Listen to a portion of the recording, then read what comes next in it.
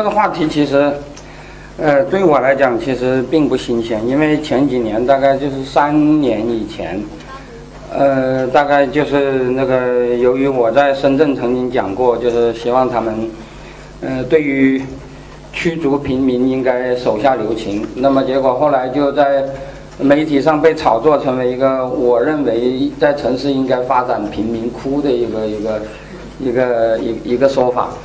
呃，其实我从来没有讲过这个话，是吧？这贫民窟谁也不喜欢。不过，你不能给他们更好的，就把他们住的差的权利都剥夺了。我觉得这总不是一件什么事儿，是吧？但是从那个时候以后啊，我们就我就一直觉得这个是一个问题。那么我也呃就此也讲过很多，但是很多中国的问题啊，往往中国人讲话不管用，要外国人讲话的，或者说要外面的人讲话。嗯，比如说那个国企改革中的问题，我们九三年就开始在讲，但是后来一直到什么郎咸平到那个什么二零三年的时候，呃呃呃，郎咸平放了一炮，然后这个事情才闹得沸沸扬扬，是吧？这个事情也关于关于这个呃关于这个平民呃居住权的这个问题也是一样，是吧？这个。呃，尽管在二零零八年的时候，那呃那个那个关注过一阵子，后来又无声无息了。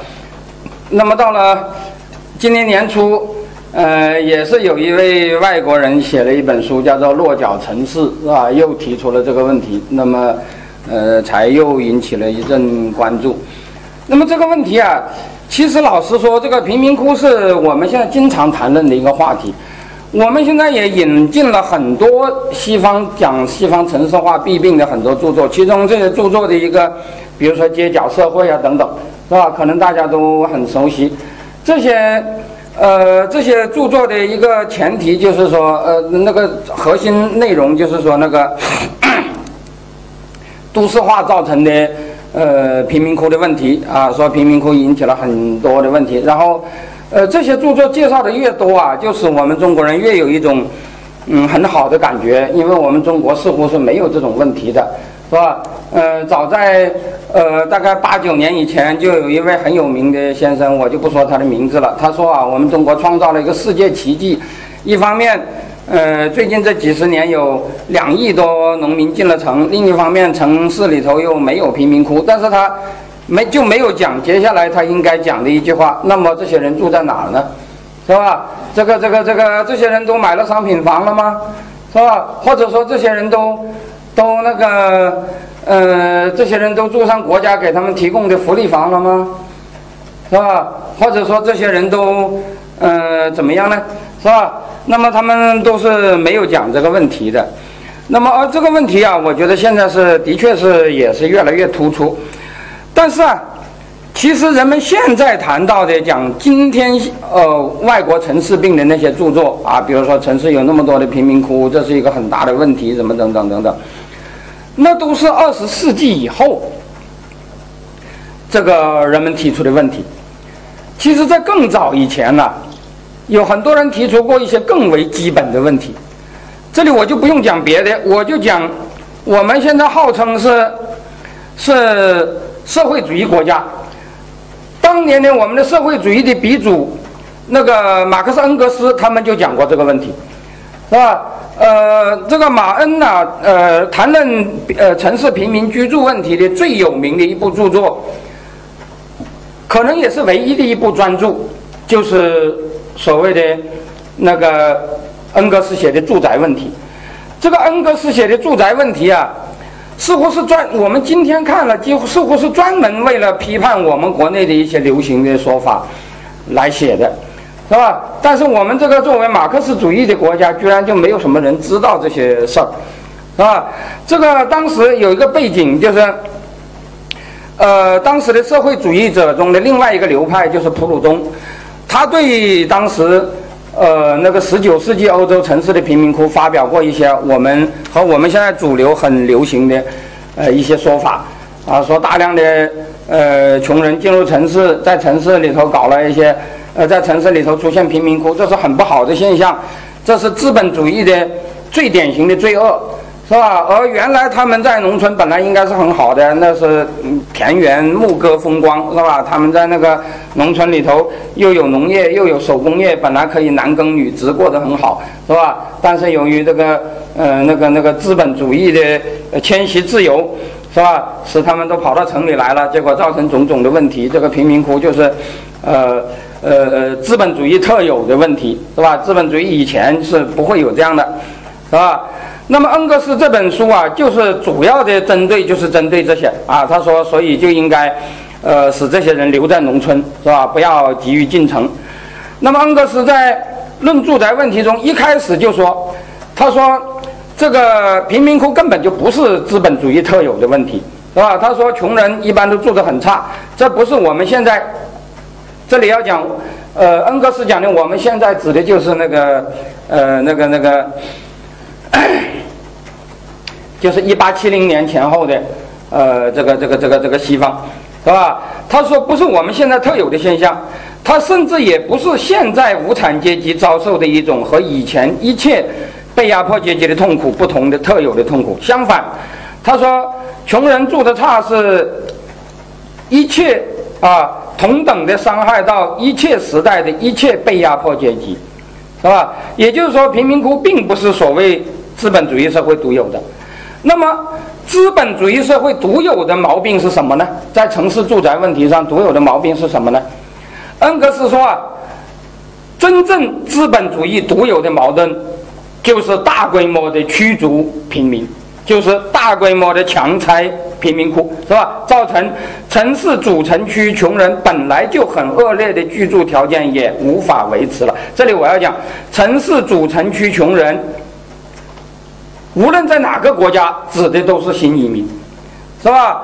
呃，世界上无论哪一个国家的贫民窟，几乎都是从农村来的人构成的，从来没有所谓的城里原来住得很好的人沦落到贫民窟去。这种现象在任何一个国家几乎都没有，呃，至少是没有大规模发生过，是吧？那个小规模当然肯定是有的了，因为。人们的处境会变好，也会变坏，是吧？但是我们以前讲，所谓的贫民窟是资本主义两极分化的结果。有些人变富了，大部分的人变穷了，穷人就沦落到贫民窟。这个在任何一个国家大概都没有的，是吧？任何的国家的贫民窟都是那个城市的新移民构成的，也就是那个那个从农村进入贫民窟的。只不过有些国家它经济发展的很快，是吧？这个贫民窟的流动性很大，很多人在那里过渡，呃，若干年就走了。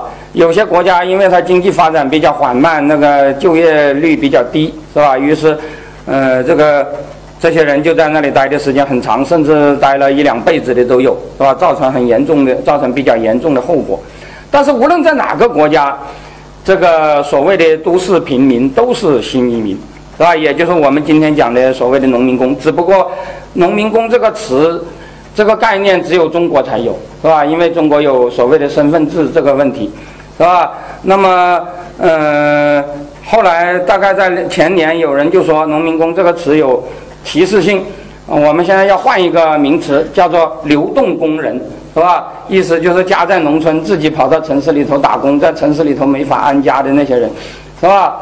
可是后来，我当时就觉得很很滑稽，因为流动工人这个这个概念呢，在有一个国家是长期以来是作为政府法定的那个用语的，这个国家就是那个种族隔离时期的南非，是吧？这个南非啊，当时他是把黑人当做呃流动工人的，就是黑人可以进城打工，但是不能进城安家，是吧？那么给进城打工的黑人发一个暂住证，是吧？然后就是呃整天。在街上，呃呃，随时就可以抓他们，让他们出具证件，没有证件就收容，是吧？嗯，就送他们去昌平筛沙子去，是吧？那个、那个、那个，呃，然后由由此引起种种的故事。但是呢，那个呃，南非当局呃不说他们是黑人工人，因为说黑人工人有种族歧视的色彩，所以就叫做流动工人，是吧？这个这个，后来我就说，我说这个流动工人正好就是南非早就有用过的一个一个一个概念了，是吧？结果搞得那位朋友很很恼火。其实我的意思当然不是说他是学南非了，他根本也不知道南非有过这种事，是吧？只不过是英雄所见略同而已，是吧？那么，呃，恩格斯说啊，现代，呃，恩格斯讲的现代当然是指的就是那个那个十九世纪的，就我们称之为资本主义的那个时代。他说。城市主城区穷人本来就很恶劣的居住条件，现在也无法维持了。他说，现在真正的问题是，大城市的发展使得某些街区，尤其是市中心的地皮价值人为的提高起来，往往是大幅度的提高。那么，原先在这里居住的房屋就被认为是呃不经济的，是吧？不但没有提高这种价值，反而降低了它，因为这种。房屋已经不适用于改变了的条件，于是他们就被拆毁而改建，那个呃别的房屋是吧？说比如说高等那个呃高级商业街区啦、豪华街区啦等等等等，是吧？首先遭到这种厄运的就是市中心的劳动者住宅，因为这些住宅的租价，甚至在住宅挤得很满的时候，也永远不能超出。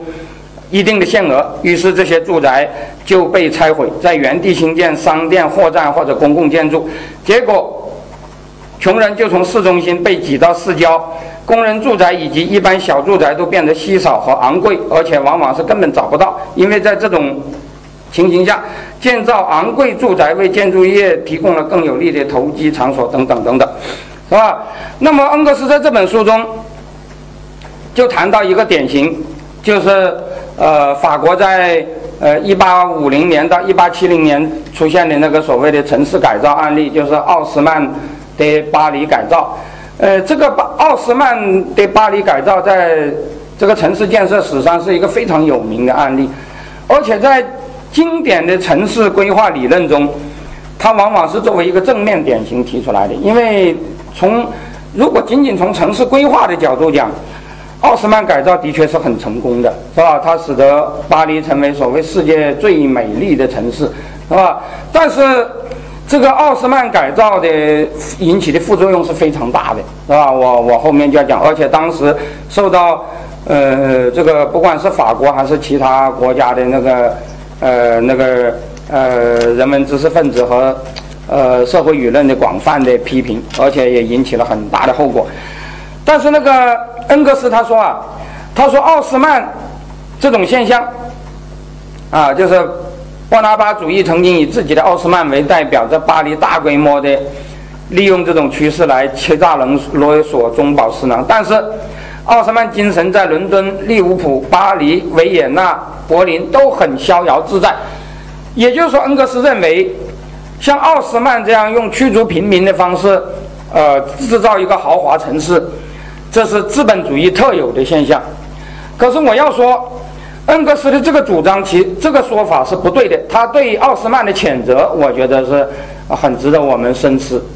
但是实际上，奥斯曼现象啊，在呃所谓的资本主义时代，其实是一个比较少见的现象。因为说实在的，能够像奥斯曼那样用铁腕手段驱逐平民的，在共和制国家在民主制度下是非常难以做到的，是吧？奥斯曼现象其实就是法国在一个特殊的历史环境下，这大概大概大家知道，呃，一八四一八五零年到一八七零年是法兰西的第二帝国，是吧？这个时期法国伏笔的帝制，呃，法国那个法国革命以后出现的那个共和民主原则被呃颠覆掉，是吧？那么在波拿巴主义啊，实际上就是那个。那个寡头专制主义，在这种条件下，呃，就有了用铁腕搞城管的呃那个条件，是吧？于是就有了这个奥斯曼的改建，是吧？我们知道前奥斯曼时代，这中世纪的巴黎是没有什么贫民窟的，因为当时的法国农民在中世纪都是农奴，是没有迁徙自由的，是吧？呃，我们也知道那个时代，乃至在圈呃原始积累时期，呃。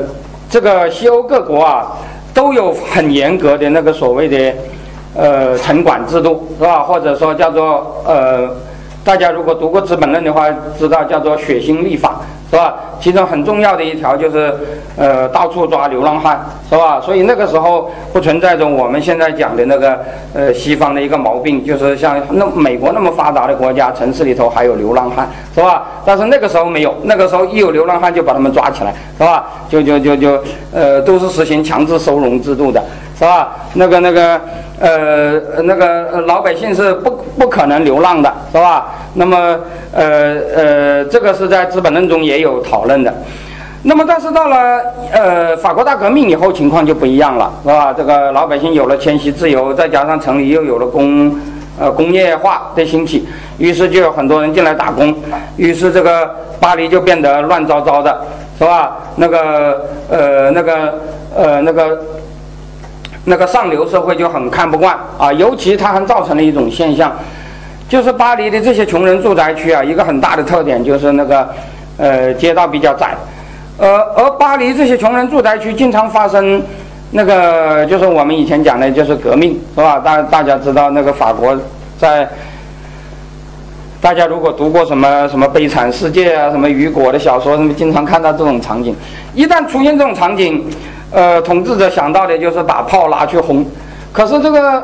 原来的巴黎有个很大的问题，就是那个街巷都很小，那个、那个、那个大炮拉不进去，是吧？于是那个呃，这个这个第二帝国时期啊，呃，当时就认为要把巴黎改造成为一个全部都是由笔直宽敞的大街，呃呃和那个那个豪华大厦呃组成的那个呃一个一个呃一个一个一一一个城市。那么，一八五二年，拿破仑三世通过政变颠覆共和、恢复帝制以后，这个政治出现专制化的趋势，民权被严重削弱。呃，他呃，在这个背景下，他就呃把巴黎的警察局长就是奥斯曼伯爵提拔为巴黎市长，受命他清理贫民区。这个奥斯曼权力很大，当时被称为父皇帝，是吧？就是除了拿破仑三世以外。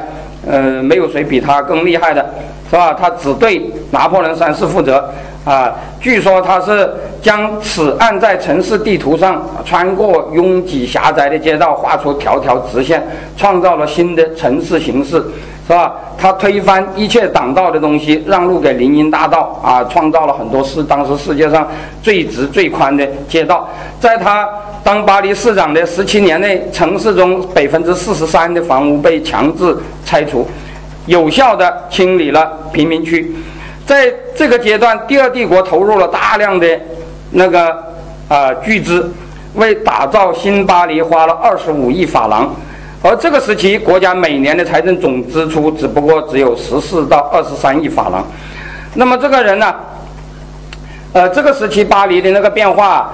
呃，反映在法国的很多那个美术作品上，是吧？法国这个国家的确是一个那个时候，呃，照相不普遍，但是，呃，美术家呃留下了很多东西。我们现在在嗯法国的很多博物馆都可以看到那个时代的呃这种作品，是吧？这就是那个呃那个拿破仑三世和奥斯曼，是吧？那么这个奥斯曼大拆迁的结果，是吧？的确把巴黎搞得非常漂亮。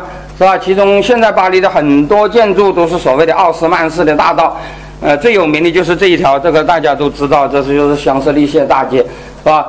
呃，巴黎典型的景观大道。那么，呃，这个大街旁边的房子啊，呃，就是所谓的奥斯曼式大厦。这个奥斯曼式的大厦的特点就是在规划好的街区中，一个四方形的街区就是一个呃连成一体的呃连体大厦，是吧？呃，它的那个。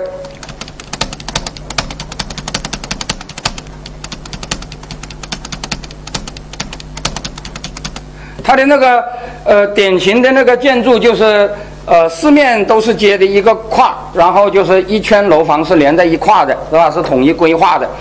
那个呃这种房子啊，在以前的中国那个有些城市也有，像那个呃武汉的六渡桥以前就有这种那种所谓的奥奥斯曼式的大厦。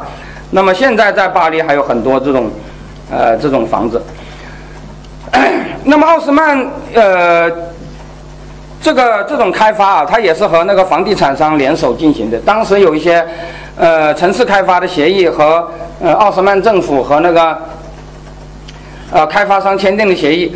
我们今天读起来几乎逐字逐句的和我们今天看到的一些那个协议也也也很相像啊，大致就是，呃，在城市土地国有化的前提下，这些土地都是国有的，交给开发商也有一定的年限，是吧？我们现在讲是七十年，奥斯曼更短是六十年，是吧？但是它可以保证开发商可以在用不着等六十年，十年内你就可以赚得盆满钵满，因为政府可以保证低成本拆迁，是吧？呃，政府用强制手段把穷人都赶走，是吧？然后把这个地方交给你，而且政府用一切，呃，用大量的物力来提供那种，呃，那个、那个、那个物流和商业环境的那个条件，是吧？讲的简单一点就是，呃，可以搞那个基础设施配套，是吧？使这个地方很快的就呃积累人气，是吧？使这个开发商很快就能够呃能够回回收成本，是吧？那么，呃，那么用这种办法，它的确是，呃，极大的改变了巴黎，是吧？这个奥斯曼以前的老巴黎，是吧？在一些那个，嗯，那个油画上都有反映。呃，这个，呃，巴黎有个地方，可能大家去过的人都知道，就是那个蒙马特尔。嗯，现在是一个，呃，有一个红磨坊，大家都知道，是吧？呃，而且红蒙马特尔是巴黎有名的艺术街区，那个什么画家啊，什么在那里住的很多。但是蒙马特尔原来是一个像农贸市场一样的地方，是吧？那个，呃，其实你们把这一栏灯打掉好不好？就关掉算了。就是把这一栏灯关掉。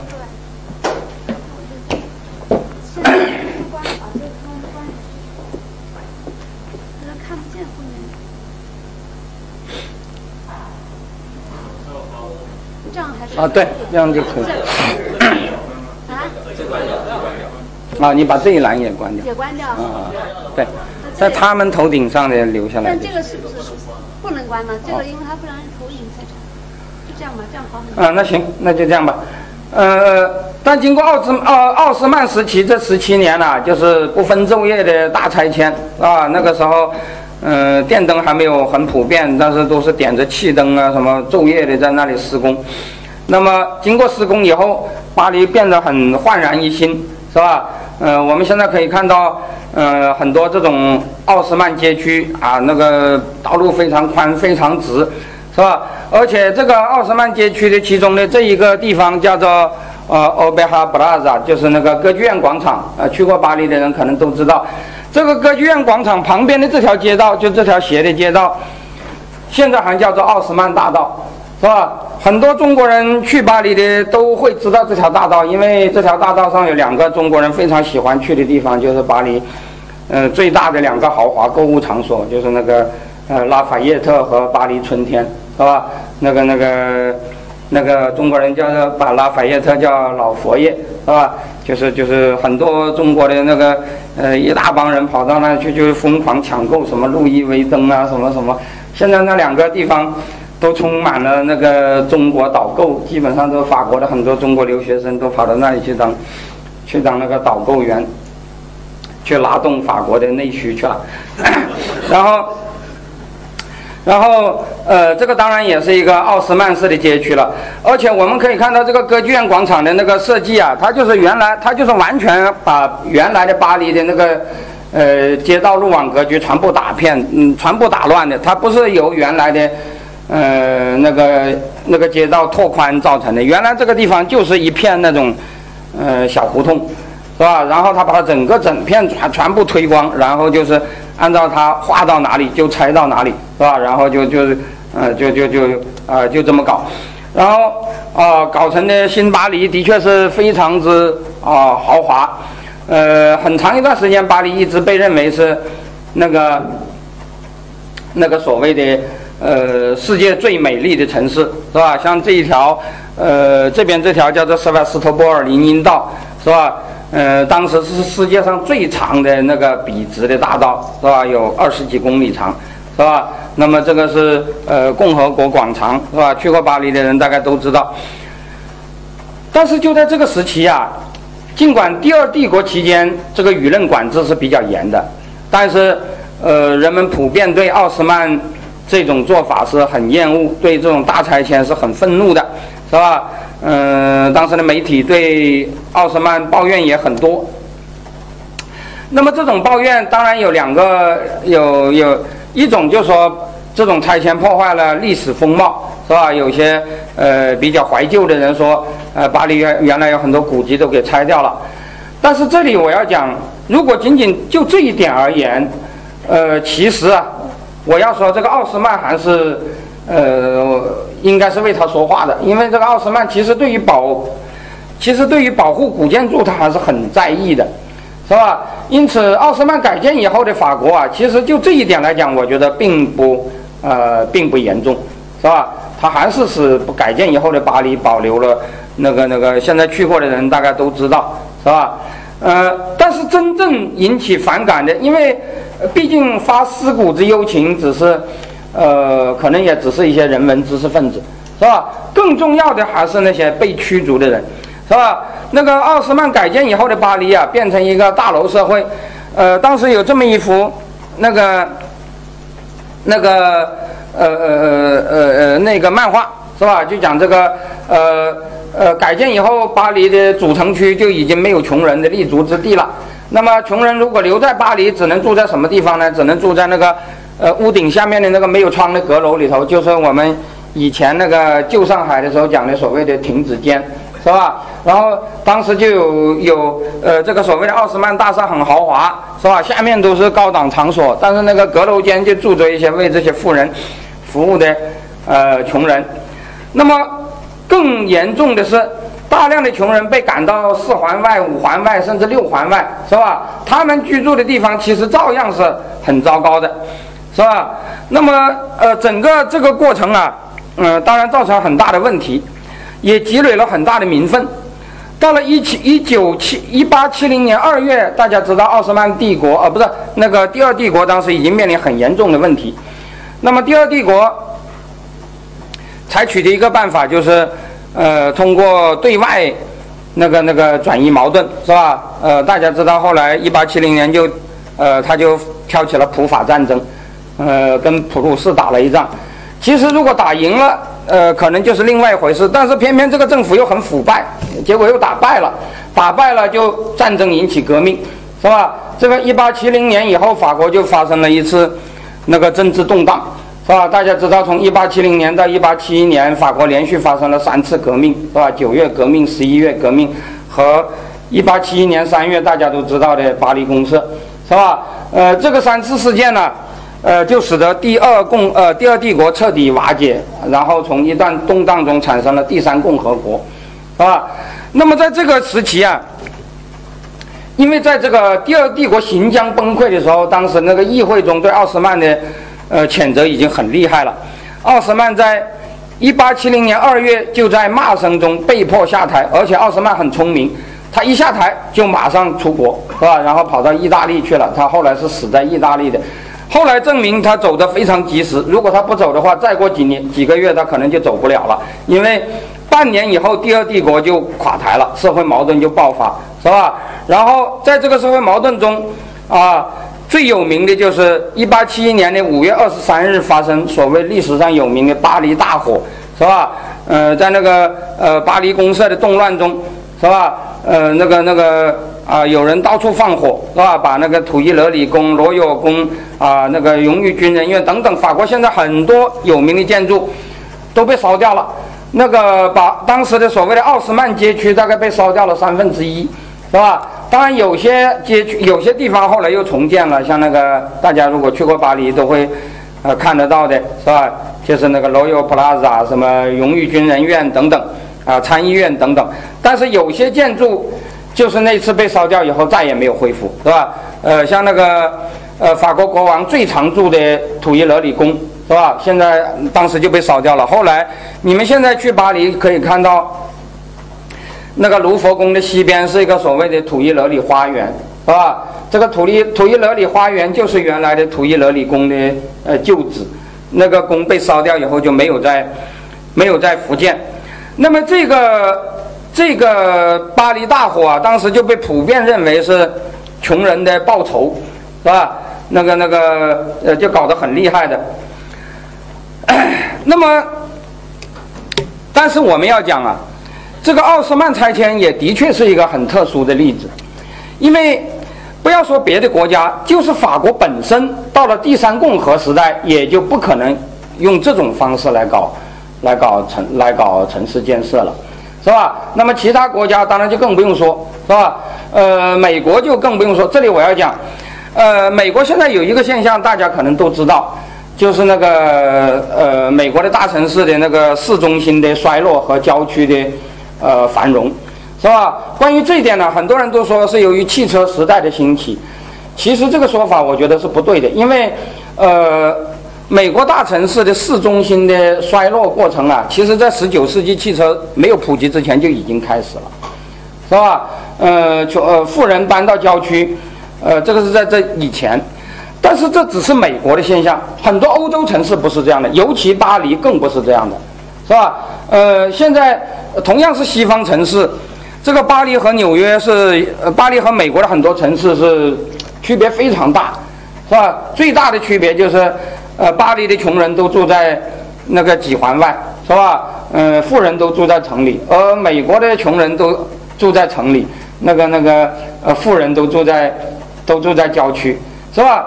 这个现象啊，我觉得和体制有很大的关系，是吧？美国的这个城市衰落，说实在的，哦，我这里讲的是市中心的衰落，是吧？美国现在当然没有发生所谓城市衰落的问题，什么郊区化，其实只是城市化的，那个他们说的所所谓的更高级的阶段而已，是吧？因为所谓的郊区化，住的也不是农民，那基本上都是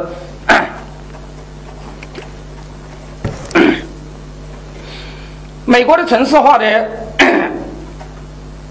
美国的这个所谓的郊区化和城市市中心的衰落啊，其实我觉得就是一个穷人驱逐富人的过程，是吧？像这样的国家，它因为美国要比欧洲，当然同样都是所谓的民主国家，美国要比欧洲更平民化，是吧？因为欧洲是中世纪它还是有贵族传统的，但是美国一直没有，是吧？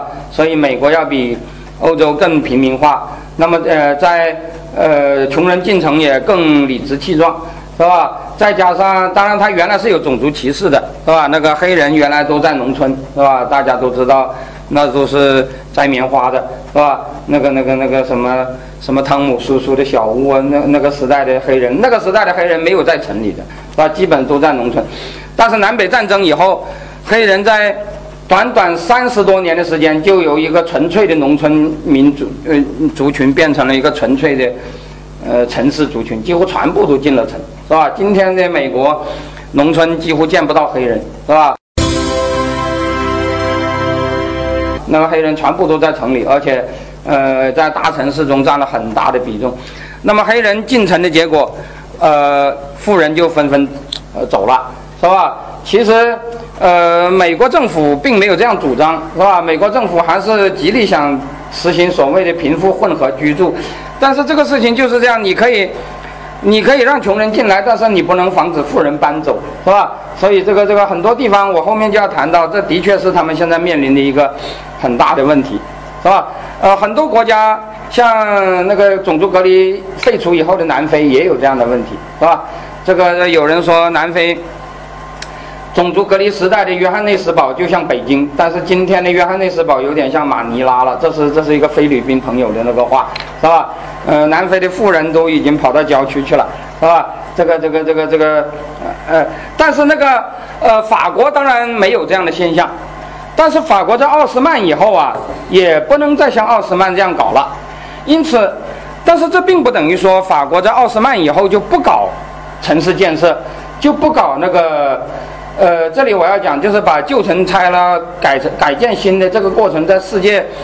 包括我们的港台都有一个说法，叫做都市更新，简称叫都更，是吧？都更的对象当然都是拆那些比较呃破旧的房子。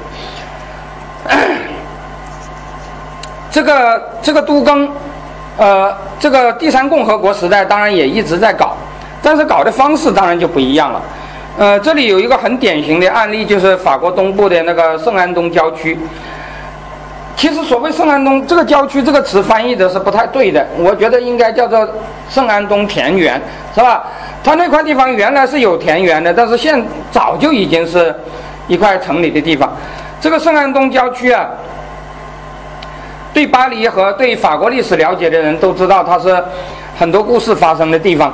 因为这个圣安东郊区是法国巴黎中东西中轴线的一段啊，这个中轴线从那个拉德芳斯大拱门一直到嗯那个那个万森里城堡是吧？呃，横贯整个就像我们的那个长安街一样的，是吧？其中有一段就是香榭丽舍大街，那么呃它的那个呃巴士底狱以西到民族广场之间的这一段就是圣安东郊区，这个圣安东郊区啊。它是这个这个农民工集中居住的地方啊，就是那个法国没有农民工这个词，就总而言之就是从乡乡下来到城市打工的那些人集中居住的地方。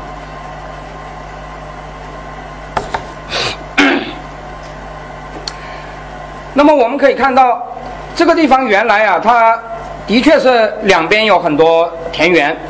但是这个地方这边有一条运河，叫做圣马丁运河。那个时候法国铁路比较少，大部分的工厂都建在运河边。那个由于这些工厂，结果很多人就来到这个地方，这个地方发展成为一个打工者居住的地方，是吧？那么这个地方的打工者还很很有力量，用我们今天的话讲，就是他们维权的本领很高，一般的人都呃不太容易惹得起他们，就连奥斯曼。尽管拆光了巴黎的很多地方，但是这块地方它都没有动，是吧？这个一八五三年，就是奥斯曼拆迁时期啊，大家可以看到，这个圣安东郊区街的周边出现了很多这个蓝色线条的这个奥斯曼大道，但是圣安东郊区街没有变，因为呃，这个奥斯曼也是绕着走的，是吧？但是这个到了第三共和时期，这个圣安东。郊区街就发生了变化，在这里进行了大规模的改建。到了一九三八年，呃，大家知道，在第三共和国末期，这个红色线条的这些地方都是，呃，在这个共和时期进行的呃改建的。其中最有名的就是这个圣安东郊区街，是吧？圣安东郊区街现在已经完全是。一个繁华的商业区了，已经没有那个，已经不是那个那个那个呃打工者居住区了，是吧？但是这个改建呢，它和奥斯曼时代的改建有很大的不同。我们现在可以看一下这个卫星地图，是吧？这个法国的这个奥斯曼式的街区啊，它是呃非常，它是非那个特征是很明显的，就是你看像这样的地方，是吧？它就是。呃，经过规划的这个笔直的大道围成的，整个这个就是一座楼啊，就是所谓的奥斯曼式大厦，就是连体的那种，连体的那种，连体的建筑，就整一一个一个框形的，是吧？一个框形的，全部都连，全部都围在一起。但是这一条街就是，就是就是那个圣安东郊区街。这一条街也是经过了改建的，但是这条街原先没有一座这种建筑，是吧？全部都是那个单体的那个大厦。也就是说，这条街这条街道的改建呢，全部都是用 全部都是用自由协议的方式进行个案改造的，是吧？不是成片推光的。那么这片街区它也有成片推光的，就是几处公益建筑，其中最有名的，就是今天法国最大的平民医院，叫做圣安东医院，是吧？呃，那是很大的一片，那个圣安东医院的规模之大，相当于我们现在的一个大学校园，是吧？那是整片啊拆迁的，是吧？那么对于这个公益公益目的的拆迁，法国也有一套那个那个共和时代也有一套那个。规矩，呃，由呃，由于时间的缘故，我就不能讲的太详细了。总而言之，呃，这个这个这个，呃，基本上是按照民主法治的原则来进行的，是吧？就再也没有搞那种那种非常铁腕的那种啊那种做法。那么今天，如果我们到圣安东郊区街，我们就可以看到，是吧？这个地方已经是一条，嗯，那个而且商业租金很很。呃，很贵的一条那个繁华商业街，但是在圣安东郊区街附近的一些胡同里，仍然是穷人住宅区，是吧？是巴黎现在很少见的，在主城区内仍然保留那个那个那个穷人住宅的地方，而且还有一些新的穷人进入这些地区，就是那个呃法国的一些移民，尤其是库尔德人，是吧？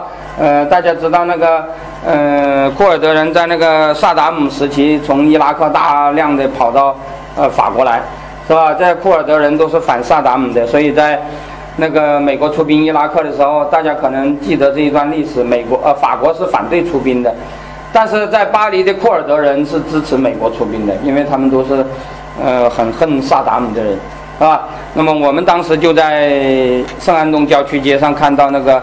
住在那附近的库尔德人在那里，在那里游行。那么，因此也就是说啊，这个呃城市改造在在民主化条件下，在共和条件下也是可以进行的，但是这个手段当然就和这个这个这个这个奥斯曼时代就有了本质的区别，是吧？那么。呃，马克思在一八六九年，就是奥斯曼时代，他曾经讲过，他说啊，呃，他那个时候他是住在英国的，但是有一次他一八六九年到法国旅行，他说他几乎游遍了整个巴黎，是吧？他说啊，这个奥斯曼化的街区啊，的确是非常漂亮啊，但是啊，那个法。呃，可能大家也知道，马克思的女婿拉法格就是法国人，当时也住在巴黎，这是也是住在巴黎的那个六环外，是吧？就是那个那个那个那个，用我们今天的讲说法叫做城乡结合部，是吧？然后说那个地方啊就很糟糕啊，没有多大变化，也没有奥斯曼化，街道依旧狭窄不堪。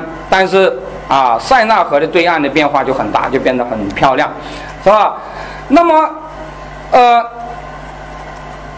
民主化以后，这个他们就不能再驱赶穷人，但是穷人就反过来有提出要求改善的要求，是吧？因此，在呃十九世纪末到二十世纪，尤其是那个福利国家这个概念兴起以后，是吧？呃，发达国家基本上在城市里头，呃，消除了这种棚户区，是吧？这个这个呃呃这个。所我们今天所讲的廉租房，就是专门为穷人盖的这种公共住房，是吧？呃，变成了一个城市中的一个非常，呃呃，城市改造中一个很，啊，一个一个一个一个很显著的现象。这些国家的穷人住宅区啊。呃，包括法国和美国都是这样，但是美国有一点不一样，美国的很多这种建筑建在主城区，巴黎基本上都建在外面，是吧？像我这里讲的伊夫里、苏瓦西、南泰尔等等，都是住都是巴黎主城区外面的那个郊区的，呃，那个都是一栋栋的大楼，是吧？呃，这些大楼嘛，从外观建筑，呃，从外观看那个建筑是非常漂亮的，但是。呃，人们仍然认为很不人道，是吧？说这个街道楼太高啊，住在里头感到很压抑，是吧？因为那些富人都住在呃 house 里头，是吧？这个这个这个只有穷人才住那么高的楼，呃，而且那个呃绿地也不多，是吧？什么什么，于是谴责还是很厉害，是吧？于是到了七十年代以后，巴黎又出现所谓的第三代贫民区，就是那个呃比较矮的，是吧？那个绿地比较多的。啊，那个那个公共建筑比较多的是吧？呃，这些地方，是吧？但是尽管这样，这些国家还是面临很多问题，是吧？呃，尤其是大家可能记得那个，呃，大概在两年以前，这个，哦，不是两年，就是二零零五年的时候。呃，巴黎郊区曾经发生过十一月骚乱啊，就是在巴黎郊区九十三区，叫做克里希苏布瓦那样的一个地方。呃，由于那个地方都是黑人，就是非洲来的移民，是吧？呃，由于一件事情，就是呃，警察抓，呃，警察要要要要，呃，怀疑有两个那个那个移民，其实这个所谓移民都是都是移民第二代了，就是那个那个。呃，他们爹妈就已经到了到了法国的，是吧？呃，要要要检查这两个人，然后这两个人就逃跑，结果撞到一处那个呃那个那个变压器上，结果后来给电死了，结果就引起一场大风波。那个那个呃克里希苏布瓦地区的那个移民在那里啊烧汽车什么什么，搞得很厉害，而且闹成一桩很大的事情。是吧？我们的报道那个时候也报道了很多法国的这件，呃，这个这个这个这个这个事儿。可是就在那个时候啊，我就在中国的媒体就在中国的网站上看到一个广告。呃，是讲的一个所谓的法国化妆品。这里我要讲，我们中国的很多法国化妆品其实都是假洋鬼子，是吧？在法国是见不到这种化妆品的。那个时候，在在中国很流行的一个品牌叫做思域，现在好像已经不见了，是吧？呃，这个它的网页说，思法国思域化妆品企业集团组建于一八一九八三年，总部位于巴黎东北市郊风景如画的克里希苏布瓦。这个克里希苏布瓦，这看到这个广告的人，一般都没有想到，就是这个克里希苏布瓦是发生这件事情的那个、那个、那个、那个地点。那么在这则广告中，他把克里希苏布瓦叫做风景如画的克里希苏布瓦。我我后来也去过这个地方，这个地方的确是一个很漂亮的地方，是吧？那个克里希苏布瓦离距离巴黎市中心十十五点八公里。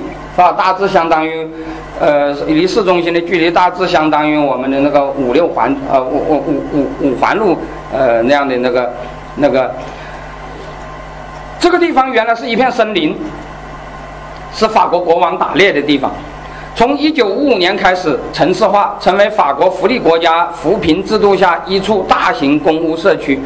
现在这个地方有三万人口。主要都是居住在那个法国政府盖的那个、那个、那个、那个廉租房里头。这些三万人基本上都是非洲来的黑人穆斯林，是吧？那么这个地方啊，这整个这个镇区啊，基本上是个绿地环绕的现代化公寓楼群，建筑密度很低，规划也很整齐。其实从一个数字我们就可以看到，这个地方有三点九五平方公里，人口只有三万，人口密度是呃。一平方公里大概是呃八千人吧，这个密度说实在的比我们海淀区的人口密度还要低，是吧？那么其中有一点一平方公里是连片的森林公园，是吧？呃，这个这个地方的那个建筑啊，你可以看到里头有一个地方就是那个原来国王打猎的行宫，是一处古迹，是吧？还有就是一些公寓楼群，但是你从那个楼上可以望到旁边的。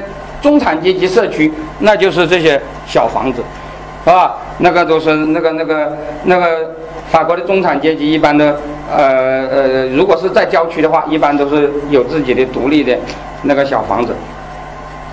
那么这个克里希苏布瓦的那个呃连那个那个那个公屋啊，呃，可以说这里有第二代公屋，就是那个高层建筑的，也有所谓的第三代公屋，是吧？就是这种比较矮的，这个这个旁边是有绿地的那种。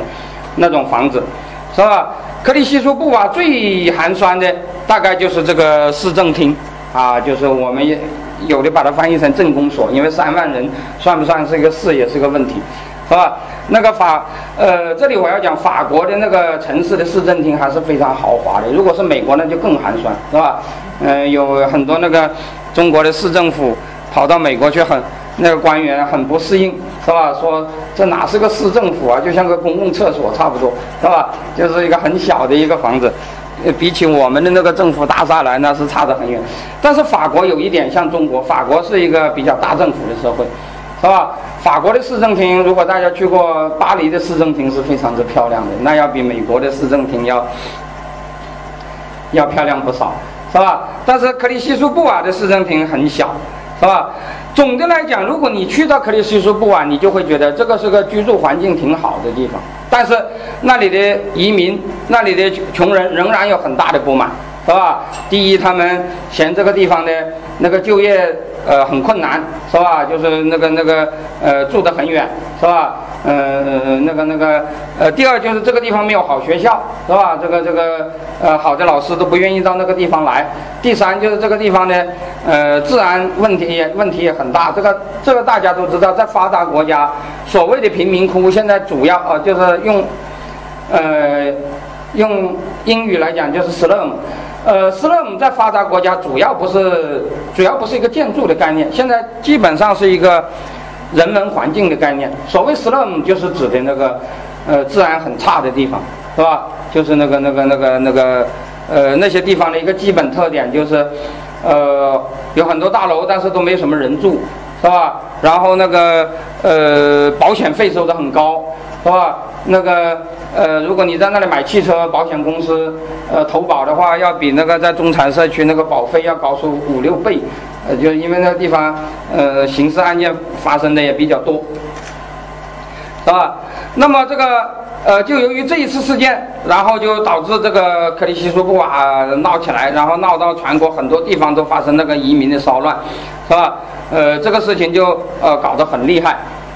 那么这个事情搞完以后啊，在法国的确就引起了一场讨论，到底应该怎么解决这个问题？很有意思的是，讨论来讨论去，大部分的人都还是认为这个问题还是要用继续改善。呃，就是帮助穷人维权的这个办法来解决，是吧？就是，但是说实在的，连我也很困惑，是吧？就是，呃，如果从这个棚户区变成了第二代，呃，那个那个那个福利房，又变成第三代福利房，是吧？那么结果你还要盖第十代、第四代福利房，是吧？那么。即使是这样，你能够解决一个基本的问题吗？就是所谓的自尊心，呃呃呃呃，受到那个挫伤的问题。所以我认为啊，像这样的问题十全十美是肯定没有办法的，是吧？再加上最近大家可能知道，最近这几年，呃，那个西方尤其是欧洲，是吧？这个经济出现问题，很重要的就是这个福利制度很难维持，是吧？那么我想这个问题当然就更麻烦了。但是我们如果反过来讲，又有什么办法比这种做法更好呢？是吧？其实这个在城市化这个问题上啊，这个什么办法是最好的，我们的确是不知道的，是吧？但是什么办法是最坏的，可能我们是知道，是吧？我觉得，呃，对于这个都市新移民的居住啊，其实说穿了，无非就是这么几种可能。是吧？假如这个新来的移民是富裕的，比如说他们是投资移民，那当然很简单，他们就买房子，是吧？他们也买得起，是吧？完全不是个什么问题。如果你是福利国家，那你就用廉租公屋或者福利价格产权房来帮助穷人居住，是吧？这里头当然有两种，一种就是集中的盖这种啊平民住宅区啊，就是所谓的廉租公屋区；一种就是把廉租公屋分散的。呃，盖。我后面要讲美国，呃，从七十年代开始就一直在讨论这个问题，是吧？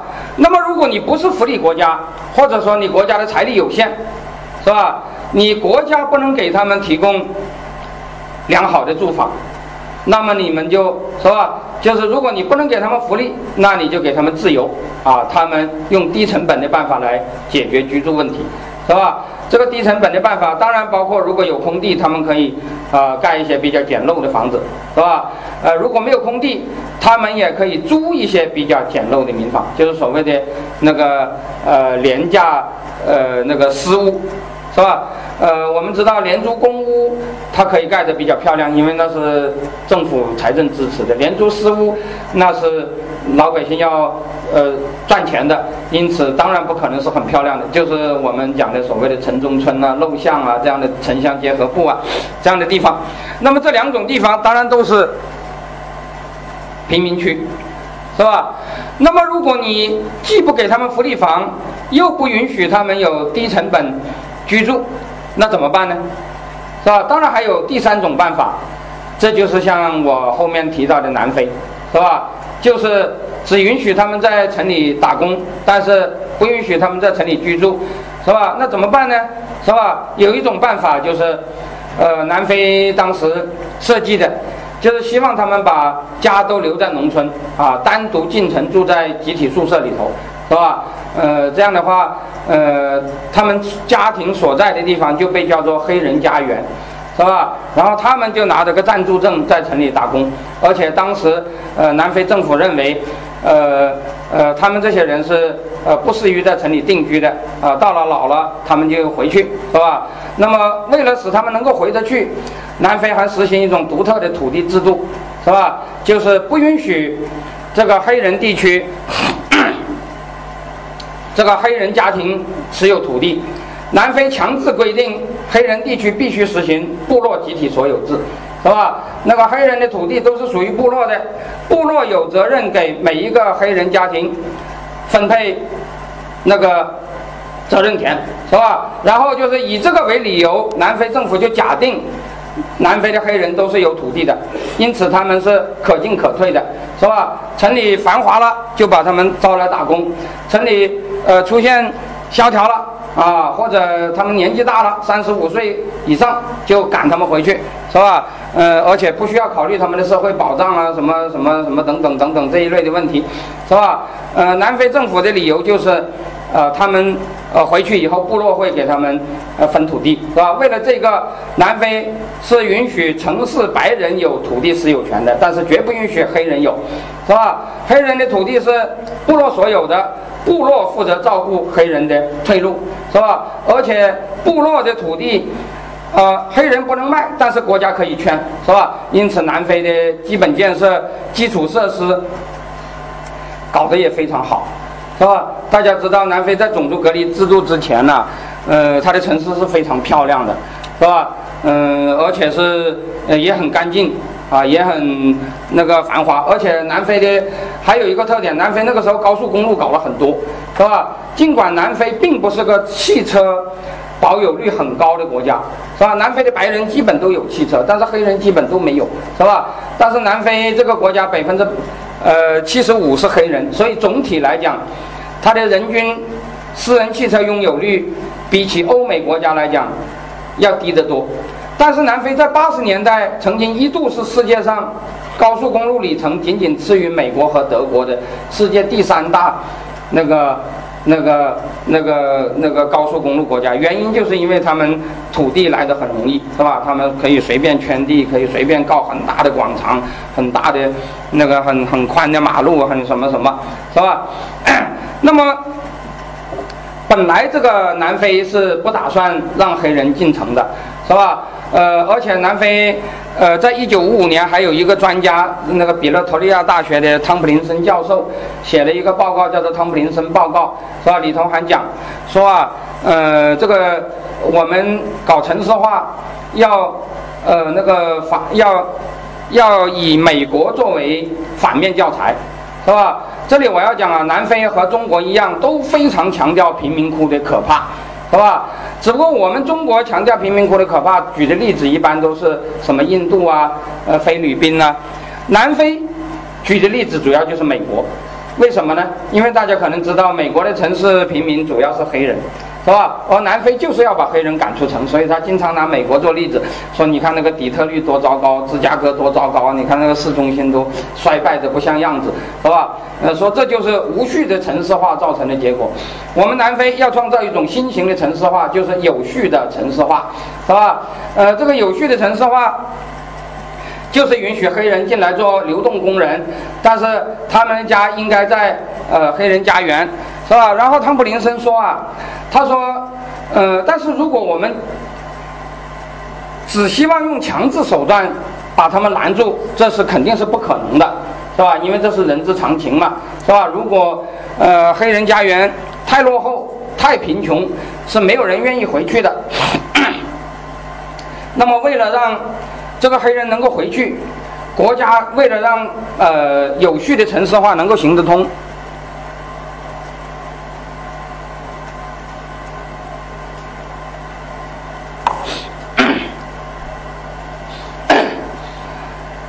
国家应该舍得花钱啊，帮助黑人家园搞建设，是吧？呃，于是南非从一九五五年到种族隔离灭亡，一直开一直在搞那个所谓黑人家园复兴计划，是吧？就政府投了很多很多的钱在黑人家园修路、修水电，呃，盖房子、盖学校、盖医院，是吧？盖了中学、小学，很多黑有些黑人家园还盖了大学，是吧？那个那个在那里盖了很多的房子，是吧？呃，但是这个最后还是没有解决这个问题，因为到了最后，黑人还是跑到城里来，这个黑人家园变成是政府盖的一大堆的空房子在那里，是吧？但是这个黑人家园盖的房子还基本上大部分是政府盖的，是吧？黑人掏的钱很少，是吧？呃，我们今天搞的新农村建设啊，大部分的钱是农民自己的钱，是吧？政府补贴的其实是很少的。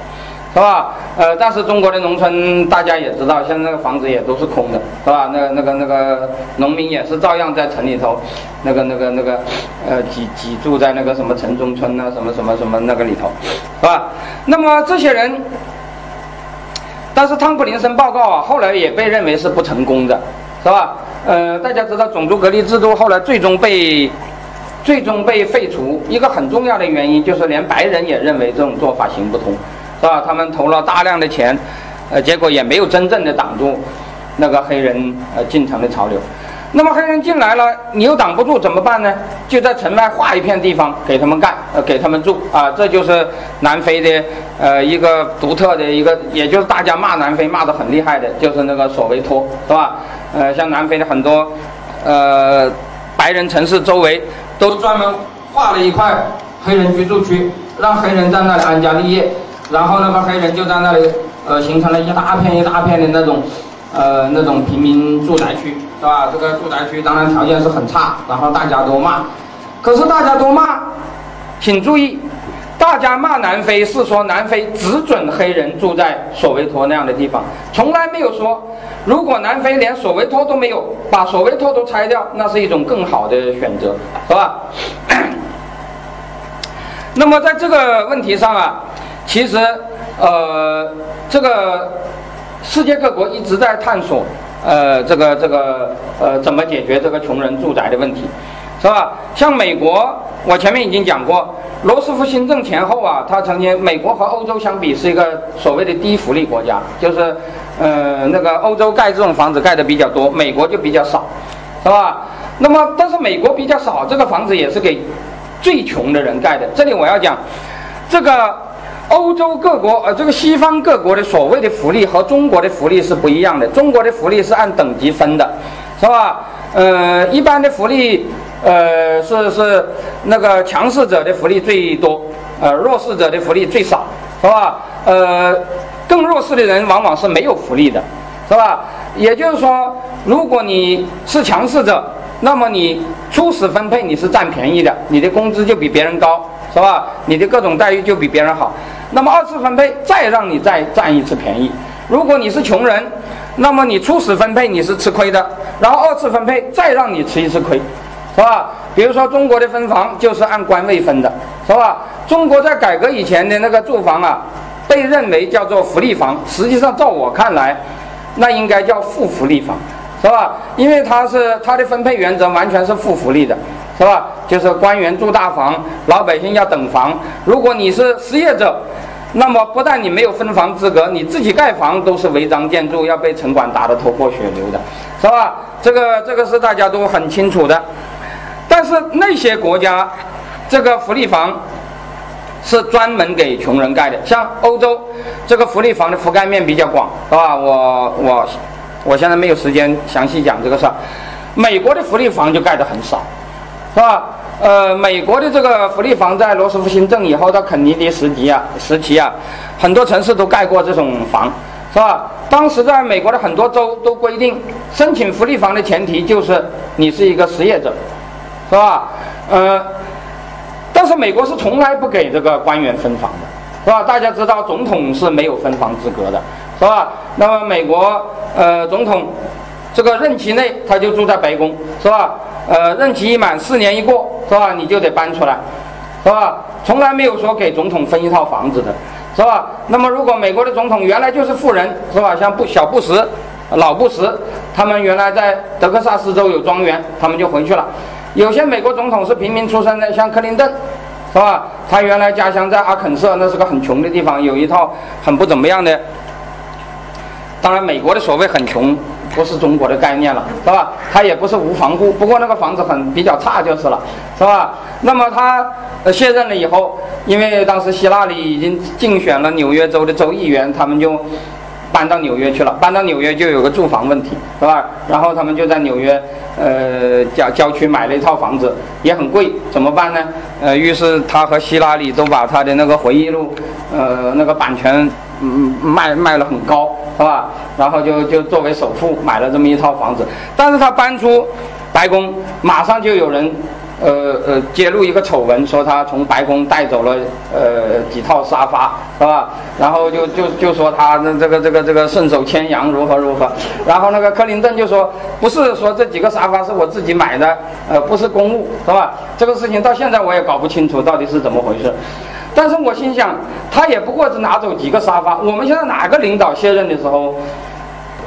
不把房子带走的，是吧？所以我们现在就造成一个现象，就是很多领导啊手中的房子很多，为什么呢？因为他经常调动工作，每调动一次，在一个地方就就得到一套房子。这里我要讲，这里头没有任何贪污，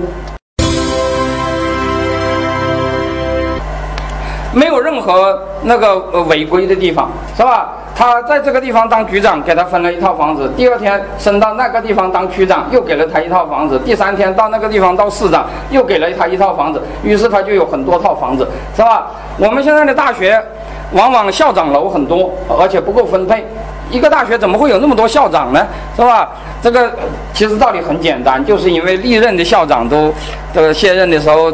呃，都要带走一套房子的，是吧？那么这个事情在美国是从来没有的，美国是从来不会给这些人分房子的，但是会给失业者分房子。现在美国有很多州在讨论，呃，不是失业的，但是收入很低的人，是不是也有可能得到那个住房福利？呃，这里我要讲住房福利，呃，不光是房子，还有房租补贴，是吧？呃，这个这个，呃。但是在大多数的州还是没有这个规定的，大多数的州还是规定你只有失业者，而且失业到一定的年龄，你呃失业到一定的呃时段，你才有资格去去申请这个这个廉租房。但是廉租房制，所以我这里要讲，廉租房制度是一种社会主义制度，甚至我们可以说是一种共产主义制度，是吧？因为我们经常讲的社会主义指的是按劳分配，而廉租房。它不是按劳分配的，它是按需分配的，是吧？从理论上讲，更近似于我们讲的共产主义，是吧？呃，如果你是奖励劳动模范的，那就不是廉租房了，是吧？那个、那个、那个按劳分配的，那不是的，你必须是按需分配，只给穷人盖的，是吧？那么这个这种住房在以前的中国从来是不可想象的，从来没有这种玩意儿的。我们今天盖这个廉租房啊。说实在的，的确是社会主义，因为这肯定不是资本主义了，是吧？但是这个社会主义是我们跟西方学的社会主义，不是我们固有的社会主义，是吧？我们以前从来不搞这个东西。不过这个廉租房制度的确也不是十全十美的，是吧？廉租房制度造成一个问题，就是这个集中盖的这个廉租房住宅区啊，它往往人文环境很差，是吧？我曾经讲过，美国的现在的这个。城市的平民住宅区，比如纽约一个很有名的就是哈伦，是吧？可能很多人都知道，因为美纽约最大的、最有名的大学——哥伦比亚大学，它的围墙外就是哈伦，是吧？呃，这个哈伦 就是美国纽约上曼哈顿的一个贫民区，是吧？那么哈哈伦是什么样子？呃，我有一次在课堂上讲，这就和我现在住的清华北大的教授住宅区，呃，蓝旗营，在建筑景观上是很相似的，都是一些高层公寓楼，是吧？但是人文景观就完全不一样了，因为那个地方最大的问题就是犯罪率很高，是吧？这个这个这个这个，呃，哈勒姆还是好的，有些地方就更厉害，是吧？这个这个呃，这个问题很大，是吧？那么。为了解决这个问题，从七十年代开始，美国就，呃，这个是我在哈勒姆拍的照片，是吧？从新罗斯福新政时代一直到肯尼迪时期，是吧？在哈勒姆盖了很多房子。你如果从建筑景观讲，呃，这个地方其实并不差。但是，由于刚我刚才讲的这个社会问题啊，美国对这种制度的批判也一直很强烈。那么由于这种强烈，是吧？呃，在在纽约还算好，在芝加哥，在呃美国中部的一些老工业化地区，就是我们今天讲的夕阳产业地区，这个问题就更严重，是吧？因为随着那个制造业呃衰落以后，失业率上升，是吧？这些地方的那个那个贫民区的这种状况就更糟糕，是吧？而且种族构成也发生变化，像美国的芝加哥，呃，十九世纪是个白人城市，到现在已经基本变成一个。一个黑人城市，是吧？那么从七十年代以后，美国政府就改变，呃，做法，他就呃不想集中连片的建这种呃地方了，然后就提出一个叫做“希望计划”。这个“希望计划”又叫做呃混合收入社区计划，是吧？就提倡呃那个呃穷人和富人应该住在一起，这个呃廉租房不应该集中盖在一起，应该。应该盖在呃中产社区中间，是吧？这个社区盖一栋，那个社区盖一栋，是吧？嗯，然后，但是这个计划它的一个标准就是那个芝加哥的罗伯特泰勒 home 这个地方，是吧？呃，这个地方啊，原来是一片呃，也是一片这个呃这个高层公寓楼，是吧？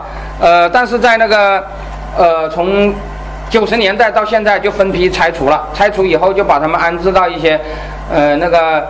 楼层比较低的建筑密密度比较低的，而且是分散的安置在那个呃中产社区里头，但是这二十多年实行下来啊，其实效果是不理想的，是吧？这个原因就是我刚才讲的，发生那个穷人驱逐富人事件，是吧？呃，其实哈勒姆本身就是这样形成的。哈勒姆这个地方啊，在罗斯福新政时期，在本世纪初，它其实是。有很多中产阶级在那里居住的，也不是什么黑人区，是吧？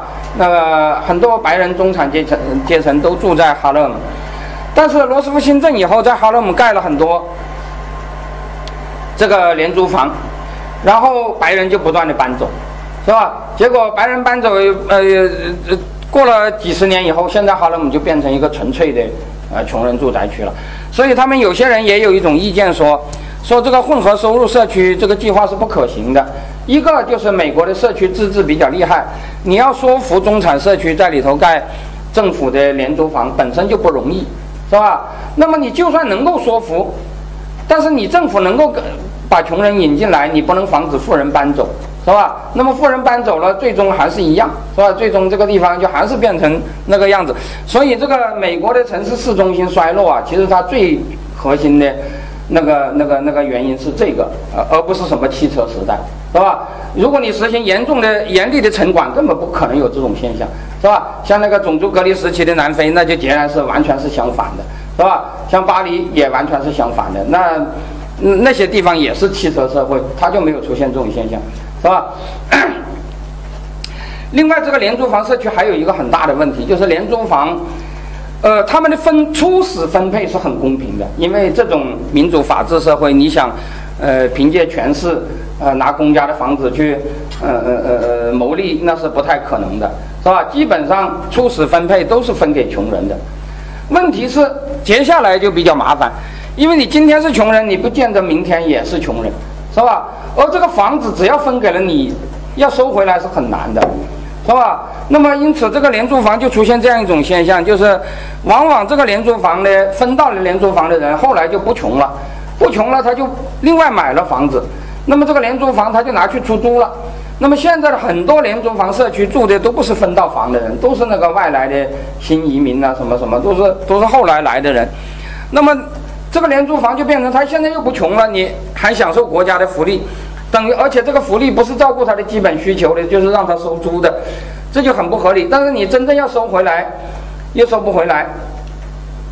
那结果后来现在就提出一种主张，就说是，呃，政府还是要照顾穷人的住房问题，但是最好不是直接给房，而是采取房租房租补贴，是吧？那么房租补贴。最好也不是补现金，因为你补了现金，他拿去喝酒了怎么办呢？是吧？那就采取那种住房券的办法，是吧？这个是现在西方解决福利国家问题的一个思路，就是用那种，呃，政府提供支付能力，让穷人到市场上去解决，呃，这个基本服务，是吧？现在不但有租房券，还有教育券、医疗券，都是这个意思。那就是说，公办的这种。呃，公办的医院、公办的学校有很多弊病，没有竞争，官僚化比较严重，是吧？那么最好还是引进竞争机制。但引进竞争机制，穷人住不起啊，住不起怎么办？那就是国家掏钱，是吧？呃，国家可以给他们提供这种代金券，让他们用这个代金券去支支付房租，是吧？那么，但是即使是这样，还是有很多问题是不能解决的，是吧？那么，其实在我看呢，这种分散式公务区只有在澳大利亚比较行得通啊。原因我这里就呃姑且不讲了，是吧？我这里呃也就不讲这个这个这个这个南非。我刚才已经讲和中国有很多很类似的地方，是吧？呃，南非以前这个城市主城区很漂亮，是吧？那个但是南非种族隔离制度废除以后啊，呃，尽管它的那个黑人区就是索维托已经有了很多，这个是南非当时搞的那个所谓的黑人家园，是吧？从外观上看起来是很漂亮的，但是现在基本上住的人都很少，也是很不成功的。南非当时为了使黑人家园制度能够实行，还搞了一招非常怪诞的，就是当时南非曾经有十多年的时间，千方百计的让黑人家园独立。是吧？因为假如你独立成一个单独的国家，那么这个黑人劳工他就不是南非人了，他就是外籍劳工。那么外籍劳工，当然我们就可以可以只招你做工人，而不去管你的家属了，是吧？那个那个，所以他呃当时极力鼓吹那个那个那个那个南非的黑人家园独立，那是因为南非他不管怎么说还是一个。呃，西方类型的国家，他还呃名正言顺的要把本国的公民拦在外面，还是不太讲得通的，是吧？因此他就想出来要把那个南非有很多现象啊，的确和中国一样。比如说种族隔离时期，南非有一个很有名的那个候鸟现象，就是因为大量的南非黑人是呃城市里头的流动劳工，他们的家都在嗯外面，所以每到圣诞节前。就会出现交通拥堵，大量的那个黑人回去过节，是吧？然后到圣诞长假过了以后，大量的人又回来，把那个车站挤得水泄不通。那个南非的黑人居住区，像索维托，也就出现了，呃，所谓的非洲最大的那个车站。但是今天，如果你到索维托，你可以看到这个车站仍然有候鸟现象，是吧？仍然有很多那个、那个、那个黑人节前。呃呃回家，然后节后又回来，但是现在这种候鸟基本上都是外籍劳工，因为南非可能大家知道是金砖国家嘛，它的呃原来是非洲唯一的工业化国家，呃周边的那些黑人国家都有大量的黑人在那里打工的。是吧？那么这些人，因为他们是外国人，南非的呃民主化废除种族隔离与他们的关系不大，所以他们现在仍然是候鸟。但是南非本土的南非本国的黑人劳工，现在基本上都已经在城市定居，是吧？都已经不是候鸟了，现在也没有那么壮观了。以前是比现在要壮观的多的，是吧？那么，那么这种现象啊。的确，就是使我们呃有一些思索，是吧？这个城市的这个呃这个这个发展到底应该怎么才好，是吧？我们知道现在第三世界国家都有很多贫民窟，是吧？呃，说的比较多的是吧？包括印度啊，呃，拉美啊，是吧？呃，这个贫民窟很多，但是很多人没有注意到一些有趣的现象，比如说拉美，拉美的贫民窟。是很严重的，而且它的弊病也很大。呃，批评贫民窟的人很多，尤其是拉美的左派，是吧？拉美的左派批评资本主义，那个尤其批评新自由主义，当然也把贫民窟作为作为一个很重要的批评对象。但是拉美有个很怪的现象，虽然左派是贫民窟的批判者，但是在左派执政的时期，恰恰是贫民窟扩张的最快的时期。是吧？大家想想，这是什么道理？是吧？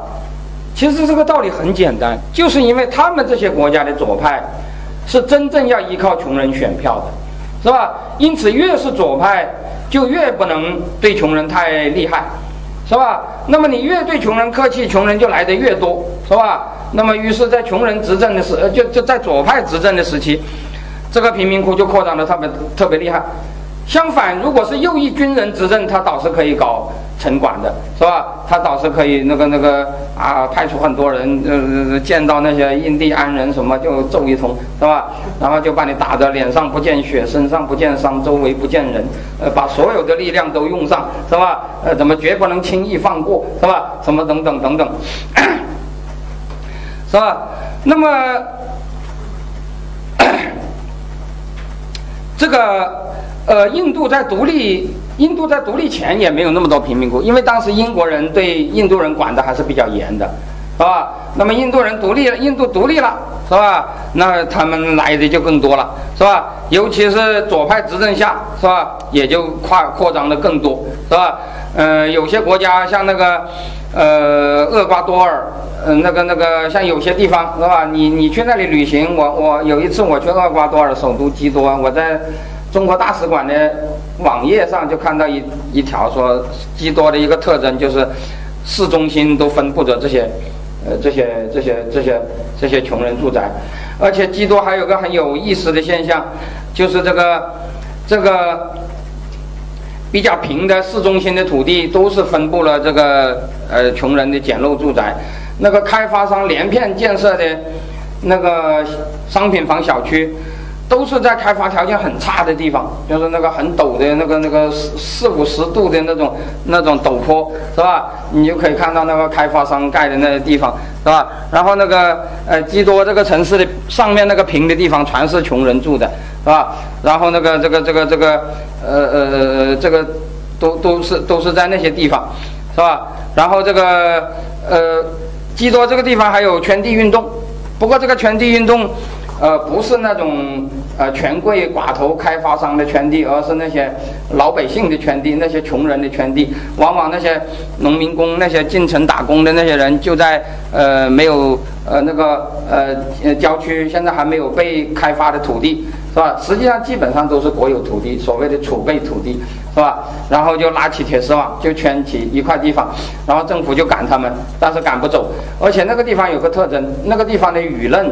也都是同情穷人的，是吧？然后政府赶就会受到一些舆论的谴责，是吧？于是这些穷人就逐渐逐渐就在那里待下来了，是吧？我们在基多的郊区就看到一一片铁丝网，是吧？他们那些人就说，那是我们圈的，是吧？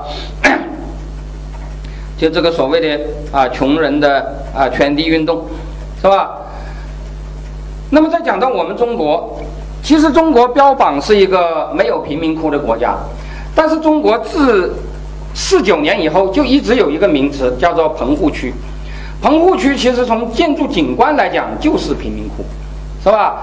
但是中国的棚户区啊，其实大部分是那个呃，用我们今天的话讲叫做旧社会遗留下来的，是吧？就是那个四九年以前，中国的城市有大量的棚户区，这个棚户区基本上也是新移民，是吧？像上海的棚户区基本上都是呃苏北，是吧？嗯，那个苏北在，比如说饥荒啊、兵荒马乱，大量的人就跑到上海，然后就形成上海的棚户区。那么，解放以后已经进来的这些人，是吧？这个共产党也没有赶他们走，那么于是他们也就获得了在棚户区呃待下去的权利，是吧？一直到改革开放。上海还是有百分之二三十的那个那个居民住在棚户区，而且上海的棚户区啊，根据现在像陈颖芳教授他们的专门的研究，在整个改革以前的时期，实际上绝对人口是在增加，当然这个相对人口呃是在减少，是吧？因为呃中国在改革开放以前呢，实际上没有怎么真的搞过棚户区的改造。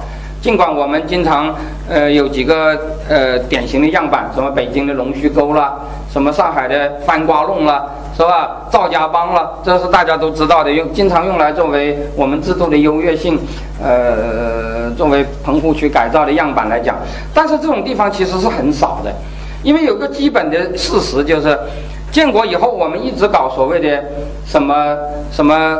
要把消费城市变成生产城市，什么先生产后生活等等等等，是吧？基本上是那个搞工厂多，搞宿舍少，是吧？因此，人均住房面积从四九年一直到七八年，基本上没有多大的变化，是吧？所以这个棚户区其实是大部分地方是没有改造的，一直到九十年代，尤其是东北的老工业化呃一些城市。我记得九十年代朱镕基有一次到抚顺，还曾经流过一次泪，说这个抚顺有些工人还住在日伪时代的工棚改建的棚户区中，是吧？他觉得很对不起呃这些人，是吧？也就是说，中国城市里头的确有很多人一直是住得很差的。但是在改革以前呢，其实这不是什么问题。为什么不是呢？因为在当时啊，在毛泽东时代，最大的问题是，允许你住在这里，就是一种恩赐。这个住在棚户区是市民的一种特权，是吧？这个如果你原来你是有城市户口的，你住在那里，那是不能把你赶走的，是吧？除非棚户区改造，给你建设更好的房子，是吧？否则他是不可能把你当做盲流啊什么什么驱逐出去的。大家知道，在改革以前，上海人均住宅面积最大的时候是什么时候吗？是一九七一年、一九七二年。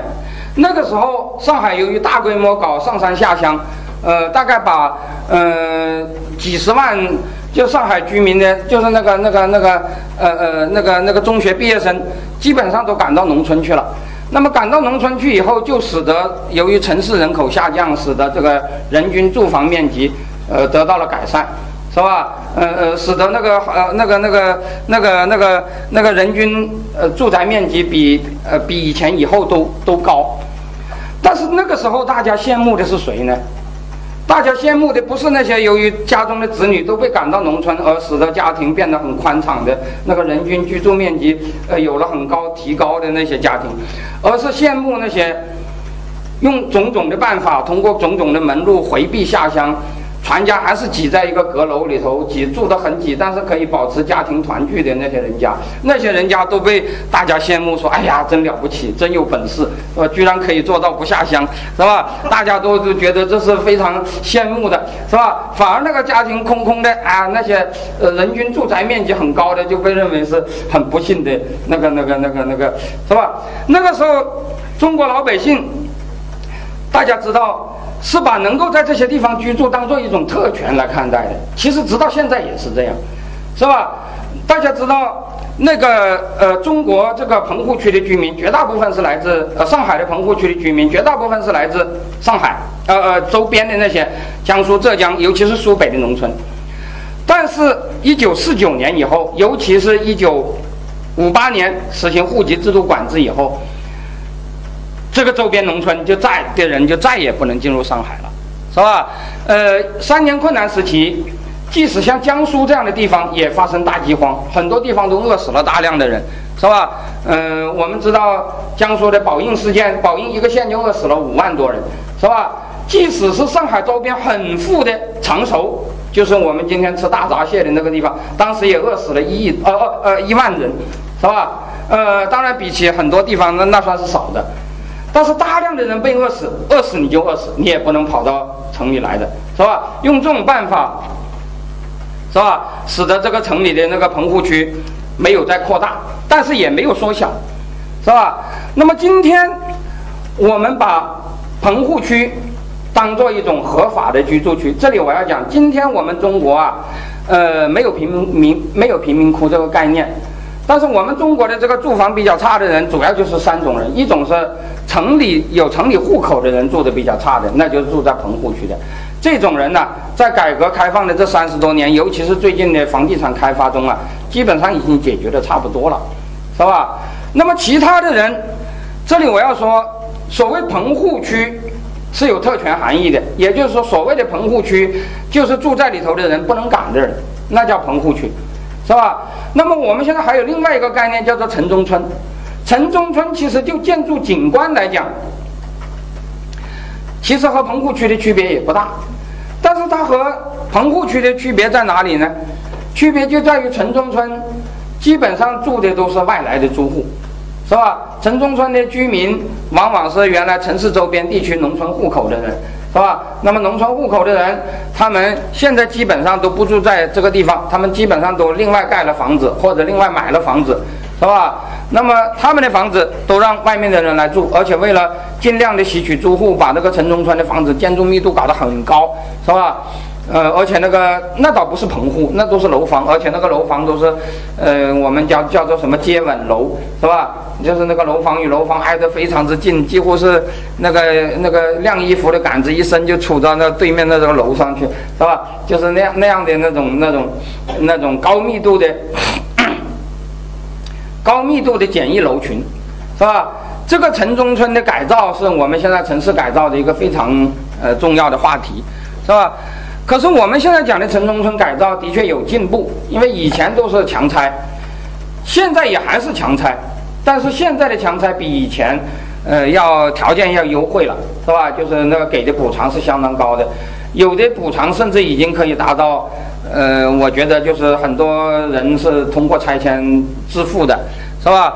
呃，拆迁成了呃大富翁的都不在少数，是吧？因此，我觉得中国的拆迁呢，虽然现在还是有很多毛病。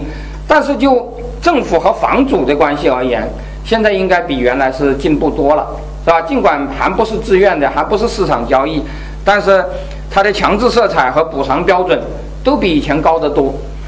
不过这里我要讲，尽管有这些进步，这个进步只是针对房主而言的。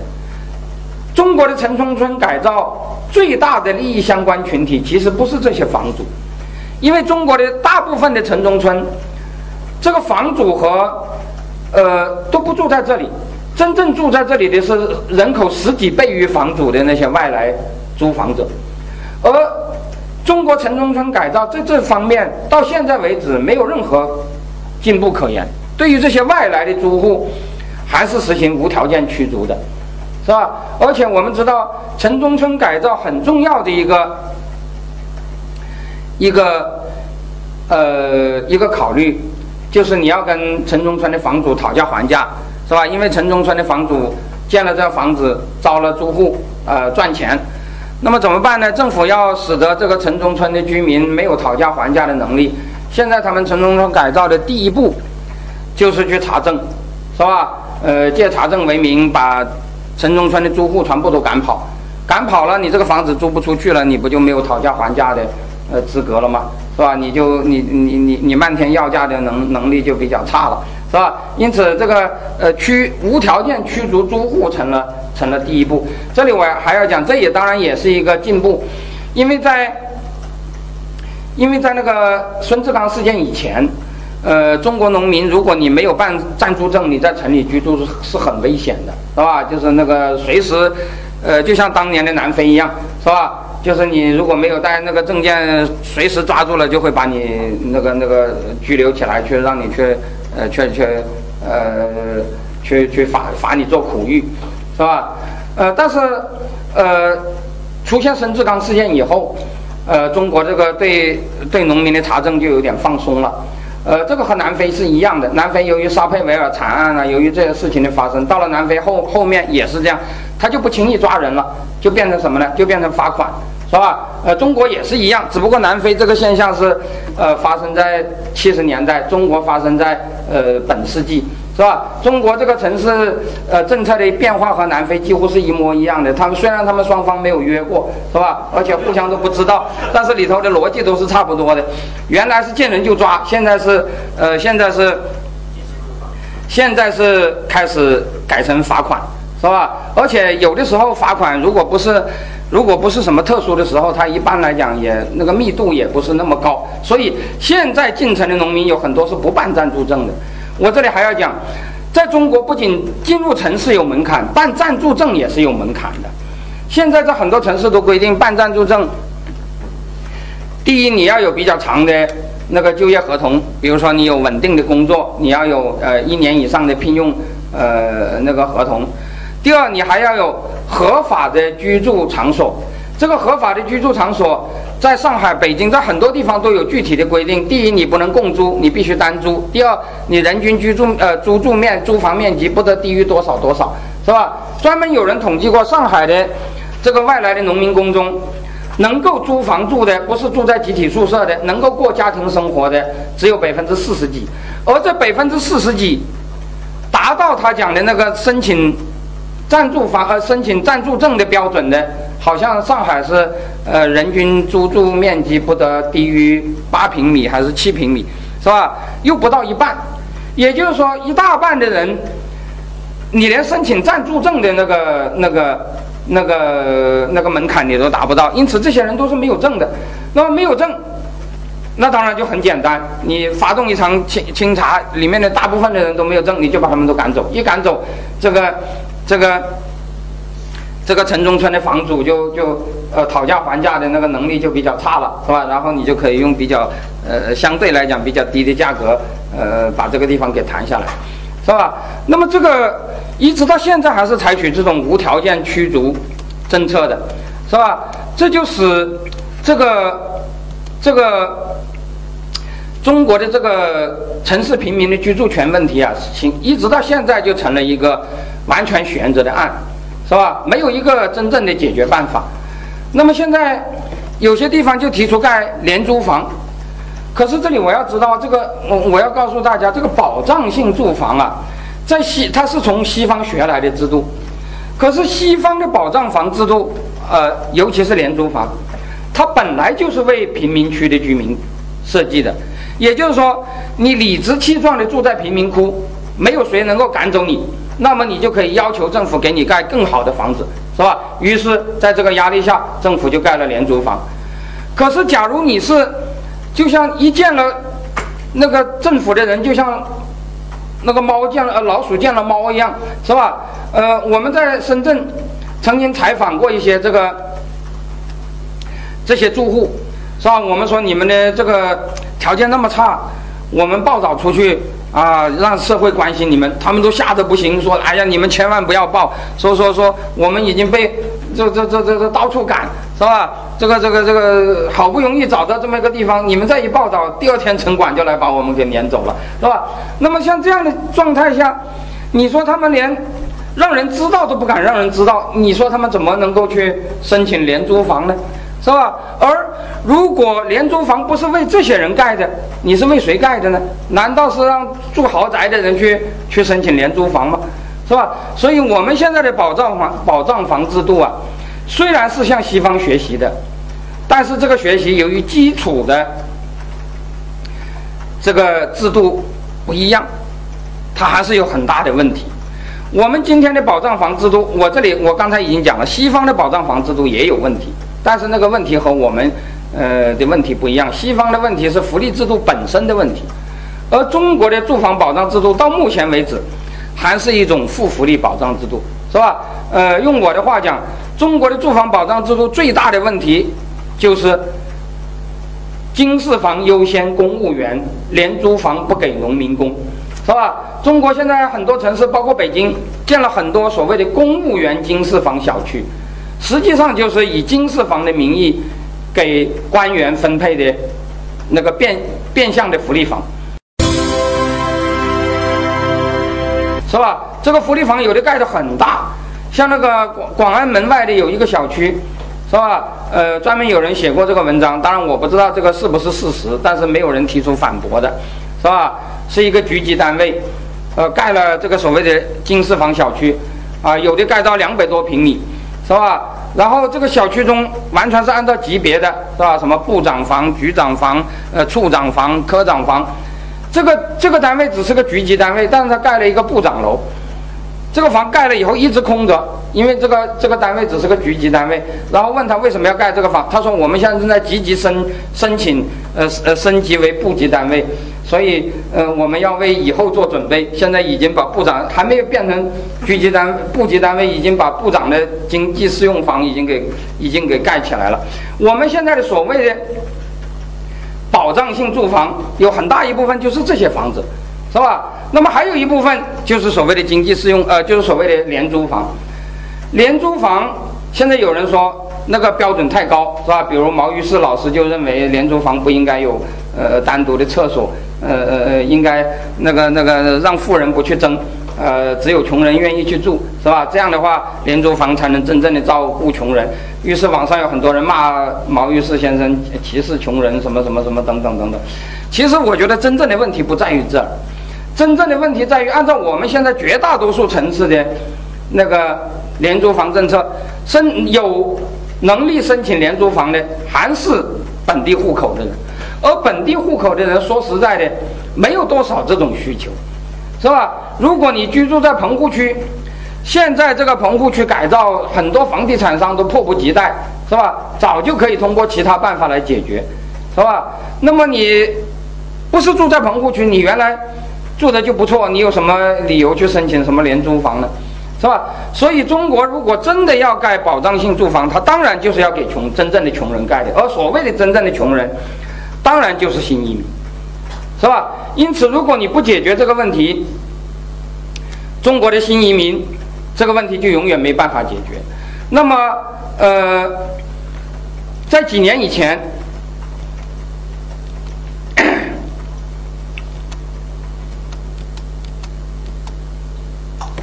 在几年以前，这个重庆呃发展大规模城市化建设是吧？然后有人就提出说，这个城市城市化扩张那么厉害，它会不会出现贫民窟呢？呃，尤尤其有一个印度斯坦奇报，因为印度贫民窟很多嘛，就问重庆市的市长，呃，现在他也还是当了市长，就这个这个重庆最近发生的变故，呃，并没有影响，呃，并没有影响他。这个黄市长啊，他说重庆永远不会有贫民窟。是吧？他讲的理由有三个，是吧？说，呃，政府的拆迁补偿是够的，啊，这个拆迁户可以自己去买房子。第二个是城市经济发展很快，呃，农民工进城以后都能找到工作。其实这两个理由，我觉得是根本不能成立的，是吧？因为你说，农民工进城能找到工作，他就能买得起商品房吗？是吧？现在不要说农民工，就城里人自己也不见得就能够凭工资能够买得起商品房的，是吧？而且你这个拆迁补偿足够解决，也足够买房子。其实老实说，如果是城中村原来的房主，城中村原来的房主本来就没有住房问题，是吧？真正有住房问题的是租户，而不是房主，是吧？你补偿也是补偿房主，你又不是补偿租户，是吧？他真正的理由是第三个，他说啊。中国的农民呢，喜欢做两栖人。这是中国文化，说中国人喜欢妻离子散，是吧？说中国人喜欢一个人到城里来打工，把家庭留在农村，不像你们西方人这么这么讨厌，喜欢全家待在一块儿，是吧？呃，这是你们的劣根性，而我们比你们伟大，我们喜欢妻离子散的，是吧？所以我们呃不用考虑这个问题，我们就是那他们单身进城来打工，把他们弄到一栋工棚里头，让他们去住着，然后管得很严，外来的人进不去，里面的人也出不来，是吧？那就行了，也不会造造成。治安问题，然后他们的家庭就就来呃呃待在黑人家园是吧？然后到了一定的时期就把他们赶回去是吧？而且他们也是实行部落集体所有制的是吧？由部落安排他们的那个那个那个那个那个善后是吧？呃，就就就就行了是吧？因此我们就消灭了这种这种做法，呃，可是这个能够行得通吗？是吧？呃，后来到了后来。呃，我们这位市长先生又说了，他说这个两栖人现象是有毛病的，什么毛病呢？因为土地的使用不经济，是吧？呃，他发现这个城市的呃这个这个农民到城里来打工，但是农村又有一块土地，呃，他觉得不好。不好的原因不是因为农民妻离子散，而是因为土地不经济。于是他就开始打那个呃呃呃呃农民土地的主意，是吧？又采取了一些办法。我们都知道，呃，那几年说实在的，我对重庆模式有我的批评，但是我的批评绝不是他搞的福利太多了，呃，造成什么政府债务，是吧？我觉得重庆模式其实没有搞什么福利，是吧？重庆在薄熙来时代搞了很多公租房。但是基本上没有搞廉租房，是吧？去了解重庆的人都知道，重庆搞的公租房，它的条例就明着写着，这个公租房的租金是市场化标准，没有什么福利特征的，是吧？就是很贵的房租，是吧？你当然，它这里头没有户籍限制，农民工如果能够买呃租得起，你就来租，是吧？这个它倒是开放的。我觉得老实说，农民工如果真的有钱，他也的确是没有住房问题。是吧？这个这个这个这个，那他去买豪宅，他如果有钱买别墅也可以嘛，是吧？那他按照市场原则，你让他去租公租房也也不是个什么问题，是吧？但是问题就是，如果我没有那么多钱呢，是吧？这个问题黄奇帆也没有讲，但是他通过公租房，又通过地票制度可以解决，可以把农民的土地给给给弄过来，是吧？呃，其实重庆并不是个高福利地区，重庆模式也不是个福利社会模式，是吧？这一点大家是要清楚的。那么这个事情呢，呃，我觉得中国的农民真的喜欢做两栖人吗？是吧？当然不是的。其实就在黄市长讲重庆农民喜欢做两栖人的，就那一段时间，就有人在重庆做了一个调查，说重庆的农民工中啊，那对那个嗯重庆的农民工集中的社呃社区啊，说是那个低端性产业特别发达，是吧？呃，原因就是农民的那个呃家庭离散那种那种单身生活，是吧？对于那种年轻人来讲，那的确是造成了非常大的那个。那个、那个、呃、那个性倾向、性取向的那个畸形化，是吧？这个的确也是我们中国的现在，包括深圳这些地方都有这个问题，就是，就是那个。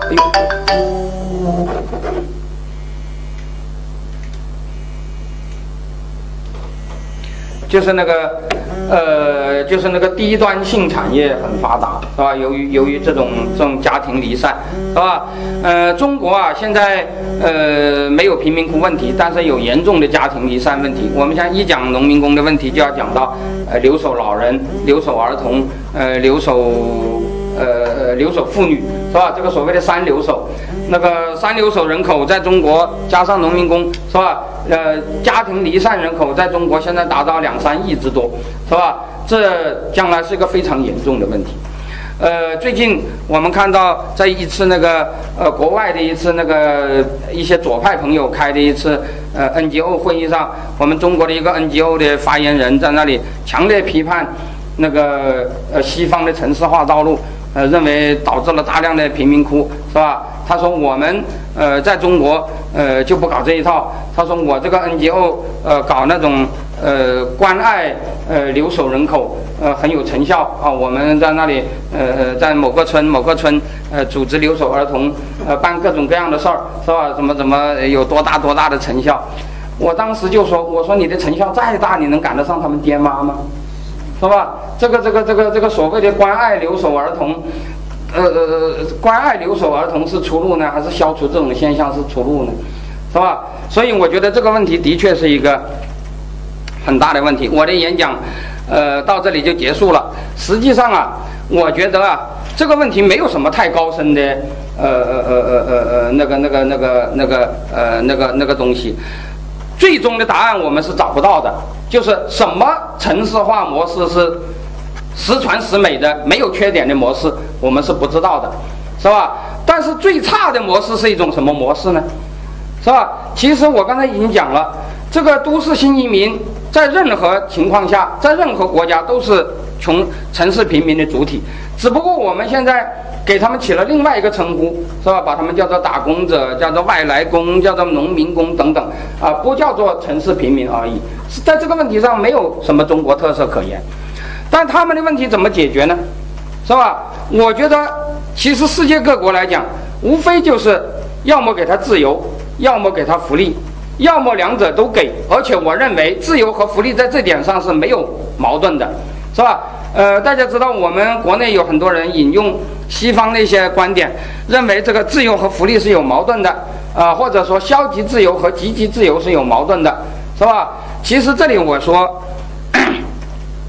很简单，福利是在自由的基础上才是有的，才才才才才才是有意义的，是吧？比如说廉租房制度在西方之所以能够解决问题，就是因为他们的穷人先有了在贫民窟居住的权利。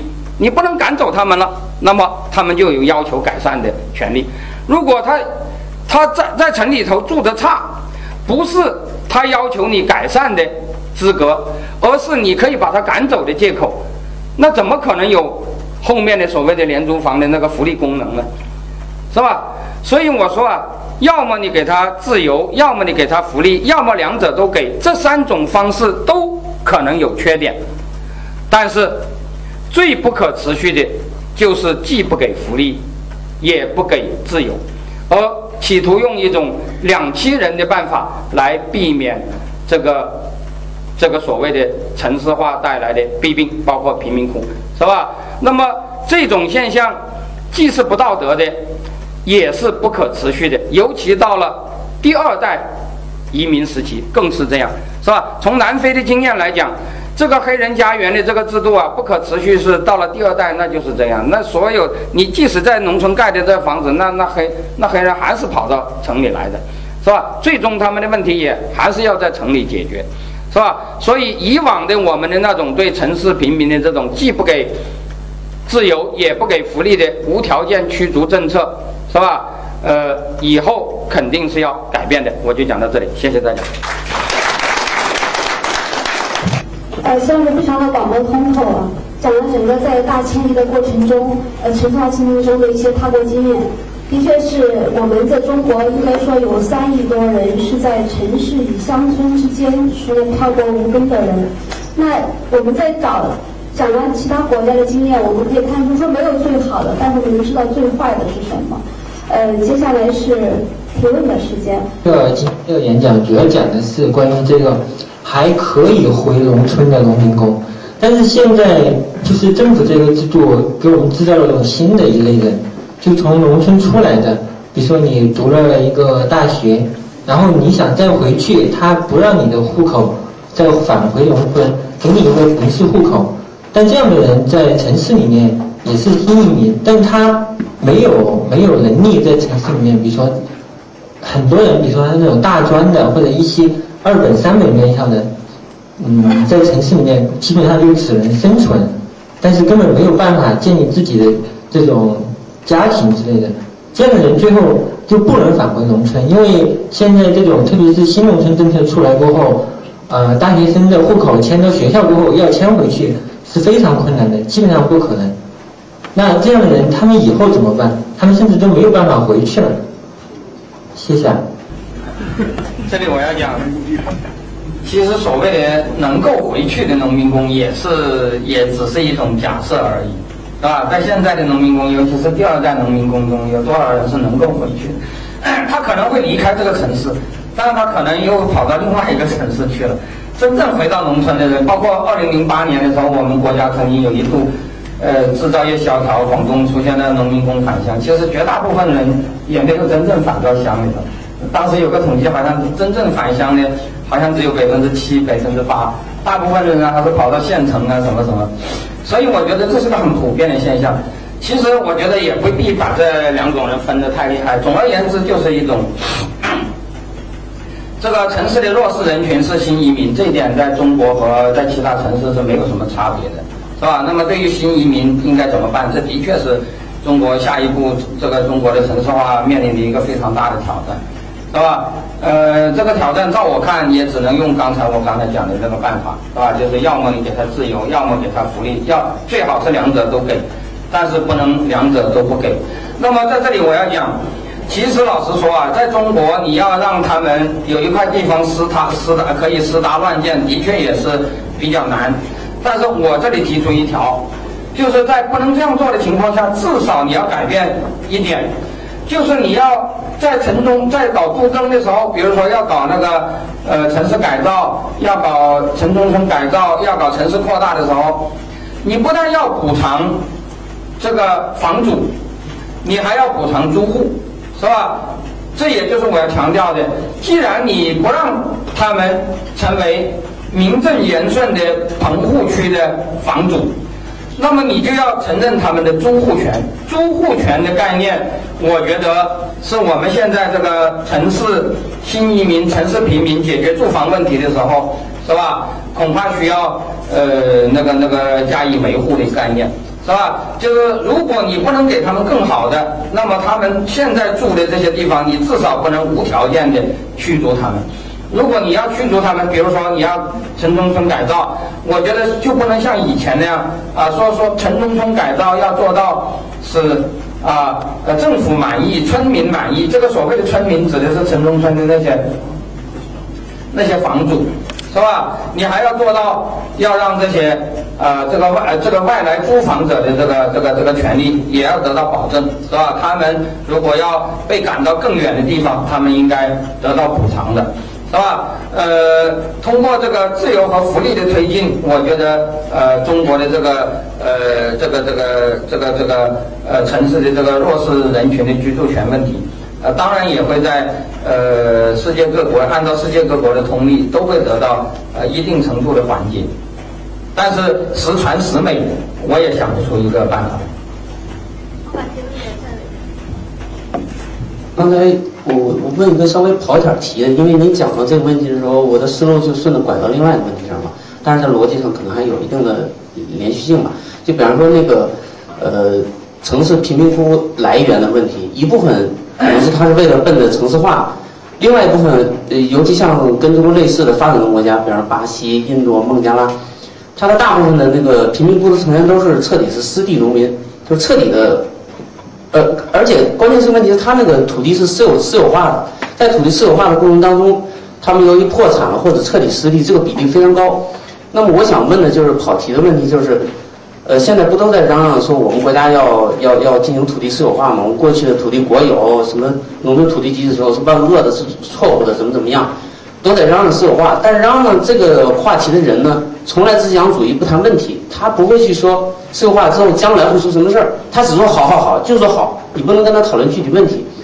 那么像温铁军呐、盛华他们谈的就是，呃，你别老说人好，我要讲所有跟中国情况类似的人口众多的这些发展中国家的问题，这是似乎是一个普遍性的问题，他们就得意见，我估计您您更更清楚了他们的观点。我当然，我马上就要回答。我觉得这个问题啊，说贫民窟、城市贫民窟是土地私有制造成的，这是一个弥天大谎，而且对任何一个国家来讲都是弥天大谎。一个非常有力的证据就是，所有的这些国家的确是土地私有制，的确有无地农民，的确有那个那个那个土地分配不公的问题。但是，所有的这些国家，包括印度也好，什么国家也好，尽管也的确有无地农民。但是无地农民的尖锐程度，或者说土地集中的程度，或者说呃大土地呃所有制的发达程度，从来都是递减的。尽管他们没有搞共产党式的那种那种激进的土地改革，但是今天的印度的土地并不比以前更集中，这是毫无疑问的。印度的任何一个邦都是这样，是吧？没有例外的。那其他国家也是这样。但是印度的贫民窟的规模仍然是一年比一年扩大，是吧？你仅仅从土地鉴定说土地呃那个那个呃呃他们把土地卖掉了，所以就建了城了，这能解释这个问题吗？肯定不能的，是吧？我再说了，中国没有贫民窟是因为没有搞土地私有制吗？你取消了城管看看。假如中国真是因为农民在农村有土地，所以他就不进城，那你何必要搞户口制度呢？你何必要搞这种管制制度呢？中国的土地制度对于消灭贫民窟有什么样的效果？我觉得只有在同等条件下才能做比较。也就是说，大家都有迁徙自由，但是由于你搞土地私有制，你有无地农民，所以你有很多人进城了。我们不搞土地私有制。所以我们据说是没有无地农民，是吧？就像南非黑人据说也是不是无地农民一样，是吧？那么他们就不进来，是吧？如果在这样的条件下，我觉得温铁军他们的说法就是有利，就是有理的，是吧？你你让他们进来，但是他们由于有土地，他们就不进来，那是可以说得过去的。但是你事实上是不是这样的，是吧？你事实上是用那个非常铁腕的手段把他们挡住的。是吧？那么我就要问了：如果土地公有制真能解决的问题，你为什么要挡他们呢？是吧？所以我觉得问题根本不在于你讲的这个问题，是吧？实际上，不管呃这个这个这个城市新移民进来，他曾经有一段这个住房很糟糕，这在世界各国是个很普遍的现象。真正的区别在于，这个经济发展的速度如果很快，这个阶段会比较短。是吧？比如说他们进城，如果都能找得到工作，呃，都能有比较。那比如说台湾就是这样，台湾在城市化，他们进城的早期进城的那些人呢，基本上也是居住在这些地方，但是他们没过几年就就搬出去了。但是印度由于它在以前的经济发展速度一直是很缓慢，所以很多人进了贫民窟，他就一直是打零工的，没有什么正式的工作，那个呃收入也很低。就一直就陷在这里头出不来。印度这些年由于经济发展的加速，实际上这个问题是正在缓解，是吧？如果你最近到印度，你就会知道，印度的确有非常严重的贫民窟问题，是吧？但是这个问题实际上它真正的那个问题不是什么无尽的。这里我还要讲一点，实际上促使人们进城的，就是一个比较经济效益原则，是吧？也就是说，你在城里比农村过得好，他就要进城。这个过得好与他是不是有地没有关系的。我在印度访问过四种类型的不同的贫民窟，我在这个问题上也是有发言权的，是吧？呃，我当然没有非常做过系统的统计，但是我接触过大量的印度的农民，他不是没有土地的，或者说他是为了进城把土地卖掉的，不是没有土地才被迫进城的。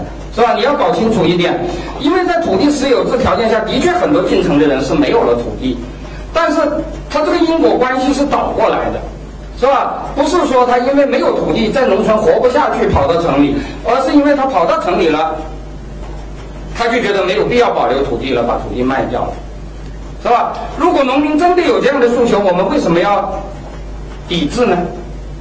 我们把他管得死死的，这对他。是更有好处吗？是吧？所以我觉得用贫民窟这个理由，这里我要讲，我并不是说土地私有制就没有弊病，但是你说用防止贫民窟的理由来来剥夺农民的地权，我觉得就跟当年的南非，呃，说说为了为了让那个流动劳工制度可以维持，就就就就就不让黑人有有土地私有权一样，那完全是站不住脚的。所以秦老师好一直用了很多篇幅在讲南非的问题。我觉得我们中国有户口政策，户口的隔离可以说堪比种族隔离。然后 这个。其实温铁军老师，我跟他也是在好几次会议上呃见到，尤其在非洲那一次肯尼亚的时候，他也是在赞美我们的集体土地所有制，说中国为什么非常呃经济发展快，为什么富裕，是因为我们有非常优越的集体经济所有制。我当时就想问他，我就说那我们当时以前也有曾经有饿死那么多人的，也是集体经济所有制，你又怎么解释呢？所以当时就这个是有很多。呃，我我觉得最好是哪天，呃，刚才还还想问秦老师，刚才讲的那个他们在做关爱留守儿童的是哪位老师？您讲名字？我就不不想涉及了。好，好，看下一个我我曾经在那个场合跟他有过一场争议争争论。好。秦老师你好，是这样，现在网上也有一些对您的其他的批评，比如说有一个叫铅笔社的，这个大部分很傻，他们的言论大部分很傻，在我看来，但是。我看到一个类似倾向的，就讲的是您所说的左手福利，右手，呃自由，然后守一条共同底线。但是他是这么说的，他说，社会的演进它并不是在调鸡尾酒，我福利少一点我就加一点福利，自由多一点我就减一点自由，它是路径依赖的。你只有先在搞定自由的这个这个前提之下再去。讲福利才可以，否则就会成了，呃，你在权力在权力垄断所有的资源，而且这个，在就在现在这个时代吧，如果你去再讲福利的话，可能会让权力有更多的这个分配资源的这个冲动，其实并没有好的。我不知道您怎么看这个。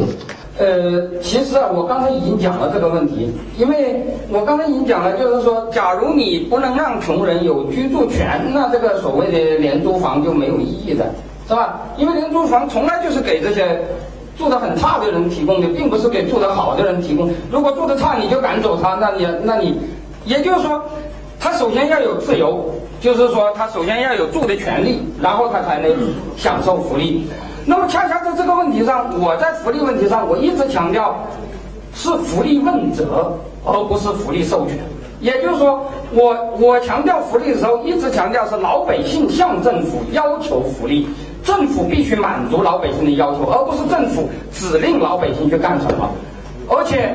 限权和问责是并行的，一方面要限制政府的掠夺，限制政府向向呃对对老百姓的侵权；另一方面，老百姓可以向政府问责，是吧？只有问责的福利才可能是正福利。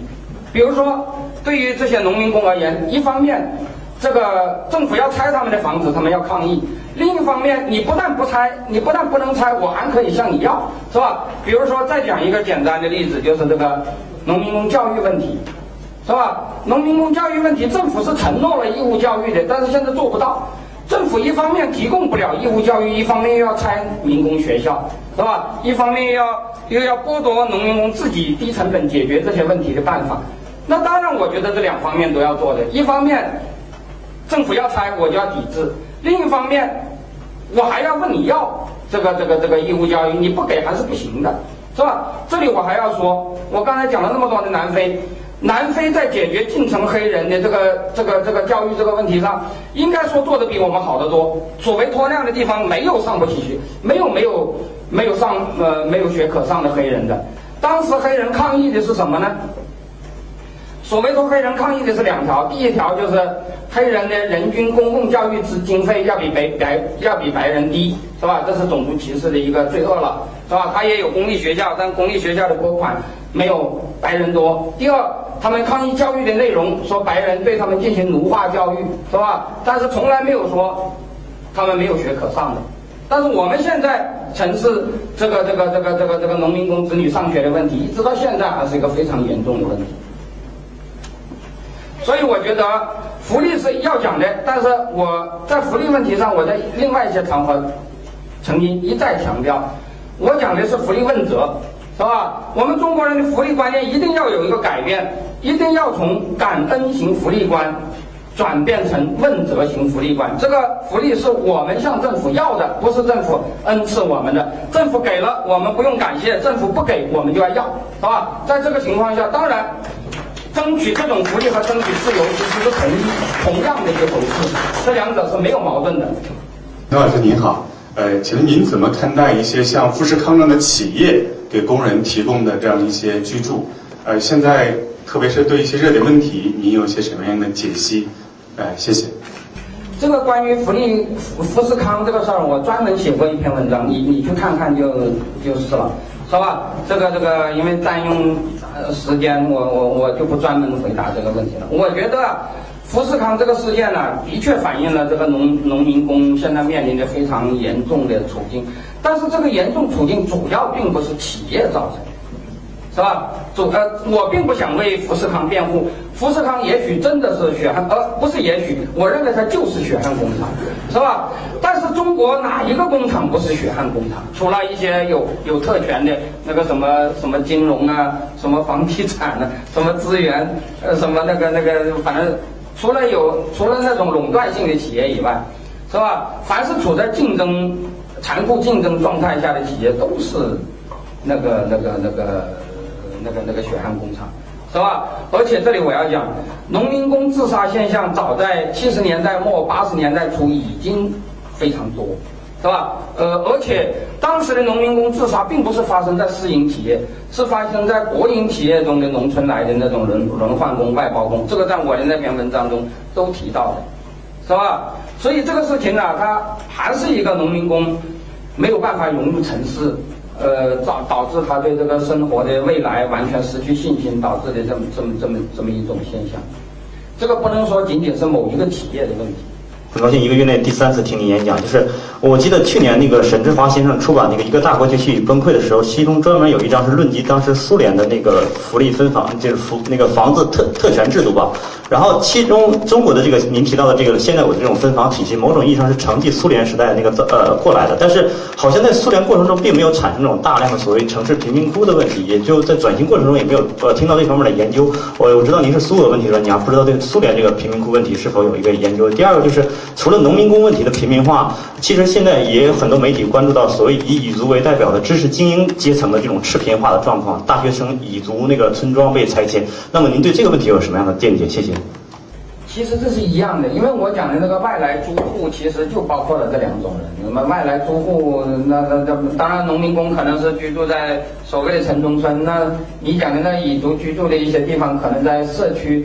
上是另外一些社区，什么宋庄啊，什么什么什么这一类的地方，对吧？但是我刚才讲的就是，呃，中国现在特别需要解决的就是这个租户权问题，而且中国的这种特殊的租户权是指的相对于政府而言的租户权，不是相对于房主而言的租户权，因为通常。在大部分的一些发达国家，他们讲的租户权是指的租店双方的权利，是吧？比如说，呃，我租了你的房子，我和房主之间就有那个，呃，那个，那个权利和义务的关系。但是我们中国这种驱赶租户，往往不是房主驱赶，而是政府驱赶。所以我们现在讲的租户权是相是是面对政府的租户权。这个租户权其实是作为那个。贫民窟居民，你比如说，我举一个例子，那个缅甸哦，不是，呃呃，金边，这些年有个非常大的事件，就是那个万古湖拆迁事件，就是一个中资公司，呃呃，用中国方式，嗯嗯，在金边市中心搞大规模的拆迁，把那个把那个平民都赶走，那那就是贫民窟，是吧？呃，赶走引起了非常强烈的抗议。那么万古湖的这些居民呢？他们住的很简陋，有的就是纸箱子盖搭搭成的房子，是吧？呃，政府驱赶他们是强制的，但是都给了补偿，是吧？呃呃，一个一个就是纸箱子搭的房子，他要给八千美元，啊，八千美元当然是很少的数字，但是柬埔寨要比中国穷得多啊，是吧？而且这个纸板的房子也是用我们中国的话讲就是违章建筑，如果赶走你是绝对没有那一分钱都不会给你，不把你打不把你打个半死就算便宜你了。是吧？就就就就就，那么这种状况就是在中国是不可能的，因为中国根本不承认他们有这个棚户区的这个所有权，是吧？中国不是没有人住在棚户，中国中国住在城市周边地区的打工者，有的就是自己盖的棚户，但是你自己盖的棚户，他也是租农民的地皮，在农民的地皮上盖的，他仍然是租户，是吧？所以我要讲的这个，在中国啊，这些人的权利就变成一种租户权。是吧？就是你不能随意赶他们。刚才那位人说，哦，我我们现在，呃，比如说新毕业的大学生买不起房怎么办？其实我觉得不光是新毕业的大学生，任何穷人都是这样，是吧？如果你买不起，你就租，是吧？那么你租，你可以要求政府改善你，是吧？那么政府如果他好的话，他就可以呃有一些那种二次分配啊，有些住房保障啊，可以解决你的问题。如果做不到，他至少也要允许你有低成本解决的空间，是吧？他不能把你这个低成本解决的空间也给堵死了，那就把人逼得没路可走。好，非常感谢秦老师。其实秦老师讲的城市新平民的权利的问题，是讲了两个方向，一个是给福利，一个是给自由。我觉得为什么很难做？我觉得主要是对我们政府来说，可能这个自由很难改，福利也很难改。我在结尾的时候想，因因为秦老师没有讲到香港，我在今年二月份正好又去了香港，而且我们看了他的公屋区，了解了他们的中原政策。我觉得在某些方面，可能呃香港的有点经验是可以值得我们来去学习。但是香港它其实有非常庞大的第三部门，就是它的社区。我们到呃天水围、呃石家石家尾村，还有那个深水埗，都去那地方。它基本上就是说，它是由有些福利政策是由社区来做的，当然它经费是来自于政府，所以它有这样大量的就能够把这样的做好。我们在天水围的是天水围是一个三十多万人的一个公务区，然后这里我们进了一个公务区家里去探访，他来自大陆，他在有三个女儿，然后他对他每每三个女儿。未成年，未成年三个女儿每一个月可以能够有一千六百元港币的这个经费，可以供养他们成长。那他其实他还有很多不满，我当时就问他一个问题，我说你你你还有这么多的不满，如果你觉得你是在大陆，你会是一个什么状态？他不假思索的回答说，如果在大陆，我早就死了，没有我了，也没有三个女儿了。所以我当时说，这就是大陆与香港这本质的区别。那我们要做好这件事，的确是民间社会发达，说给福利、给自由怎么改，这条路也很长。谢谢秦老师。这里我要说啊，其实大家可以看看那个。呃，马克思在《资本论》中讲的那个血腥立法的那些章节，其实中国目前就处在这种状态，是吧？这个这个中国这个制度下对富人是不是很好？我不知道，但是对穷人的确是恐怕是全世界最差的，是吧？我就讲这个。好，谢谢。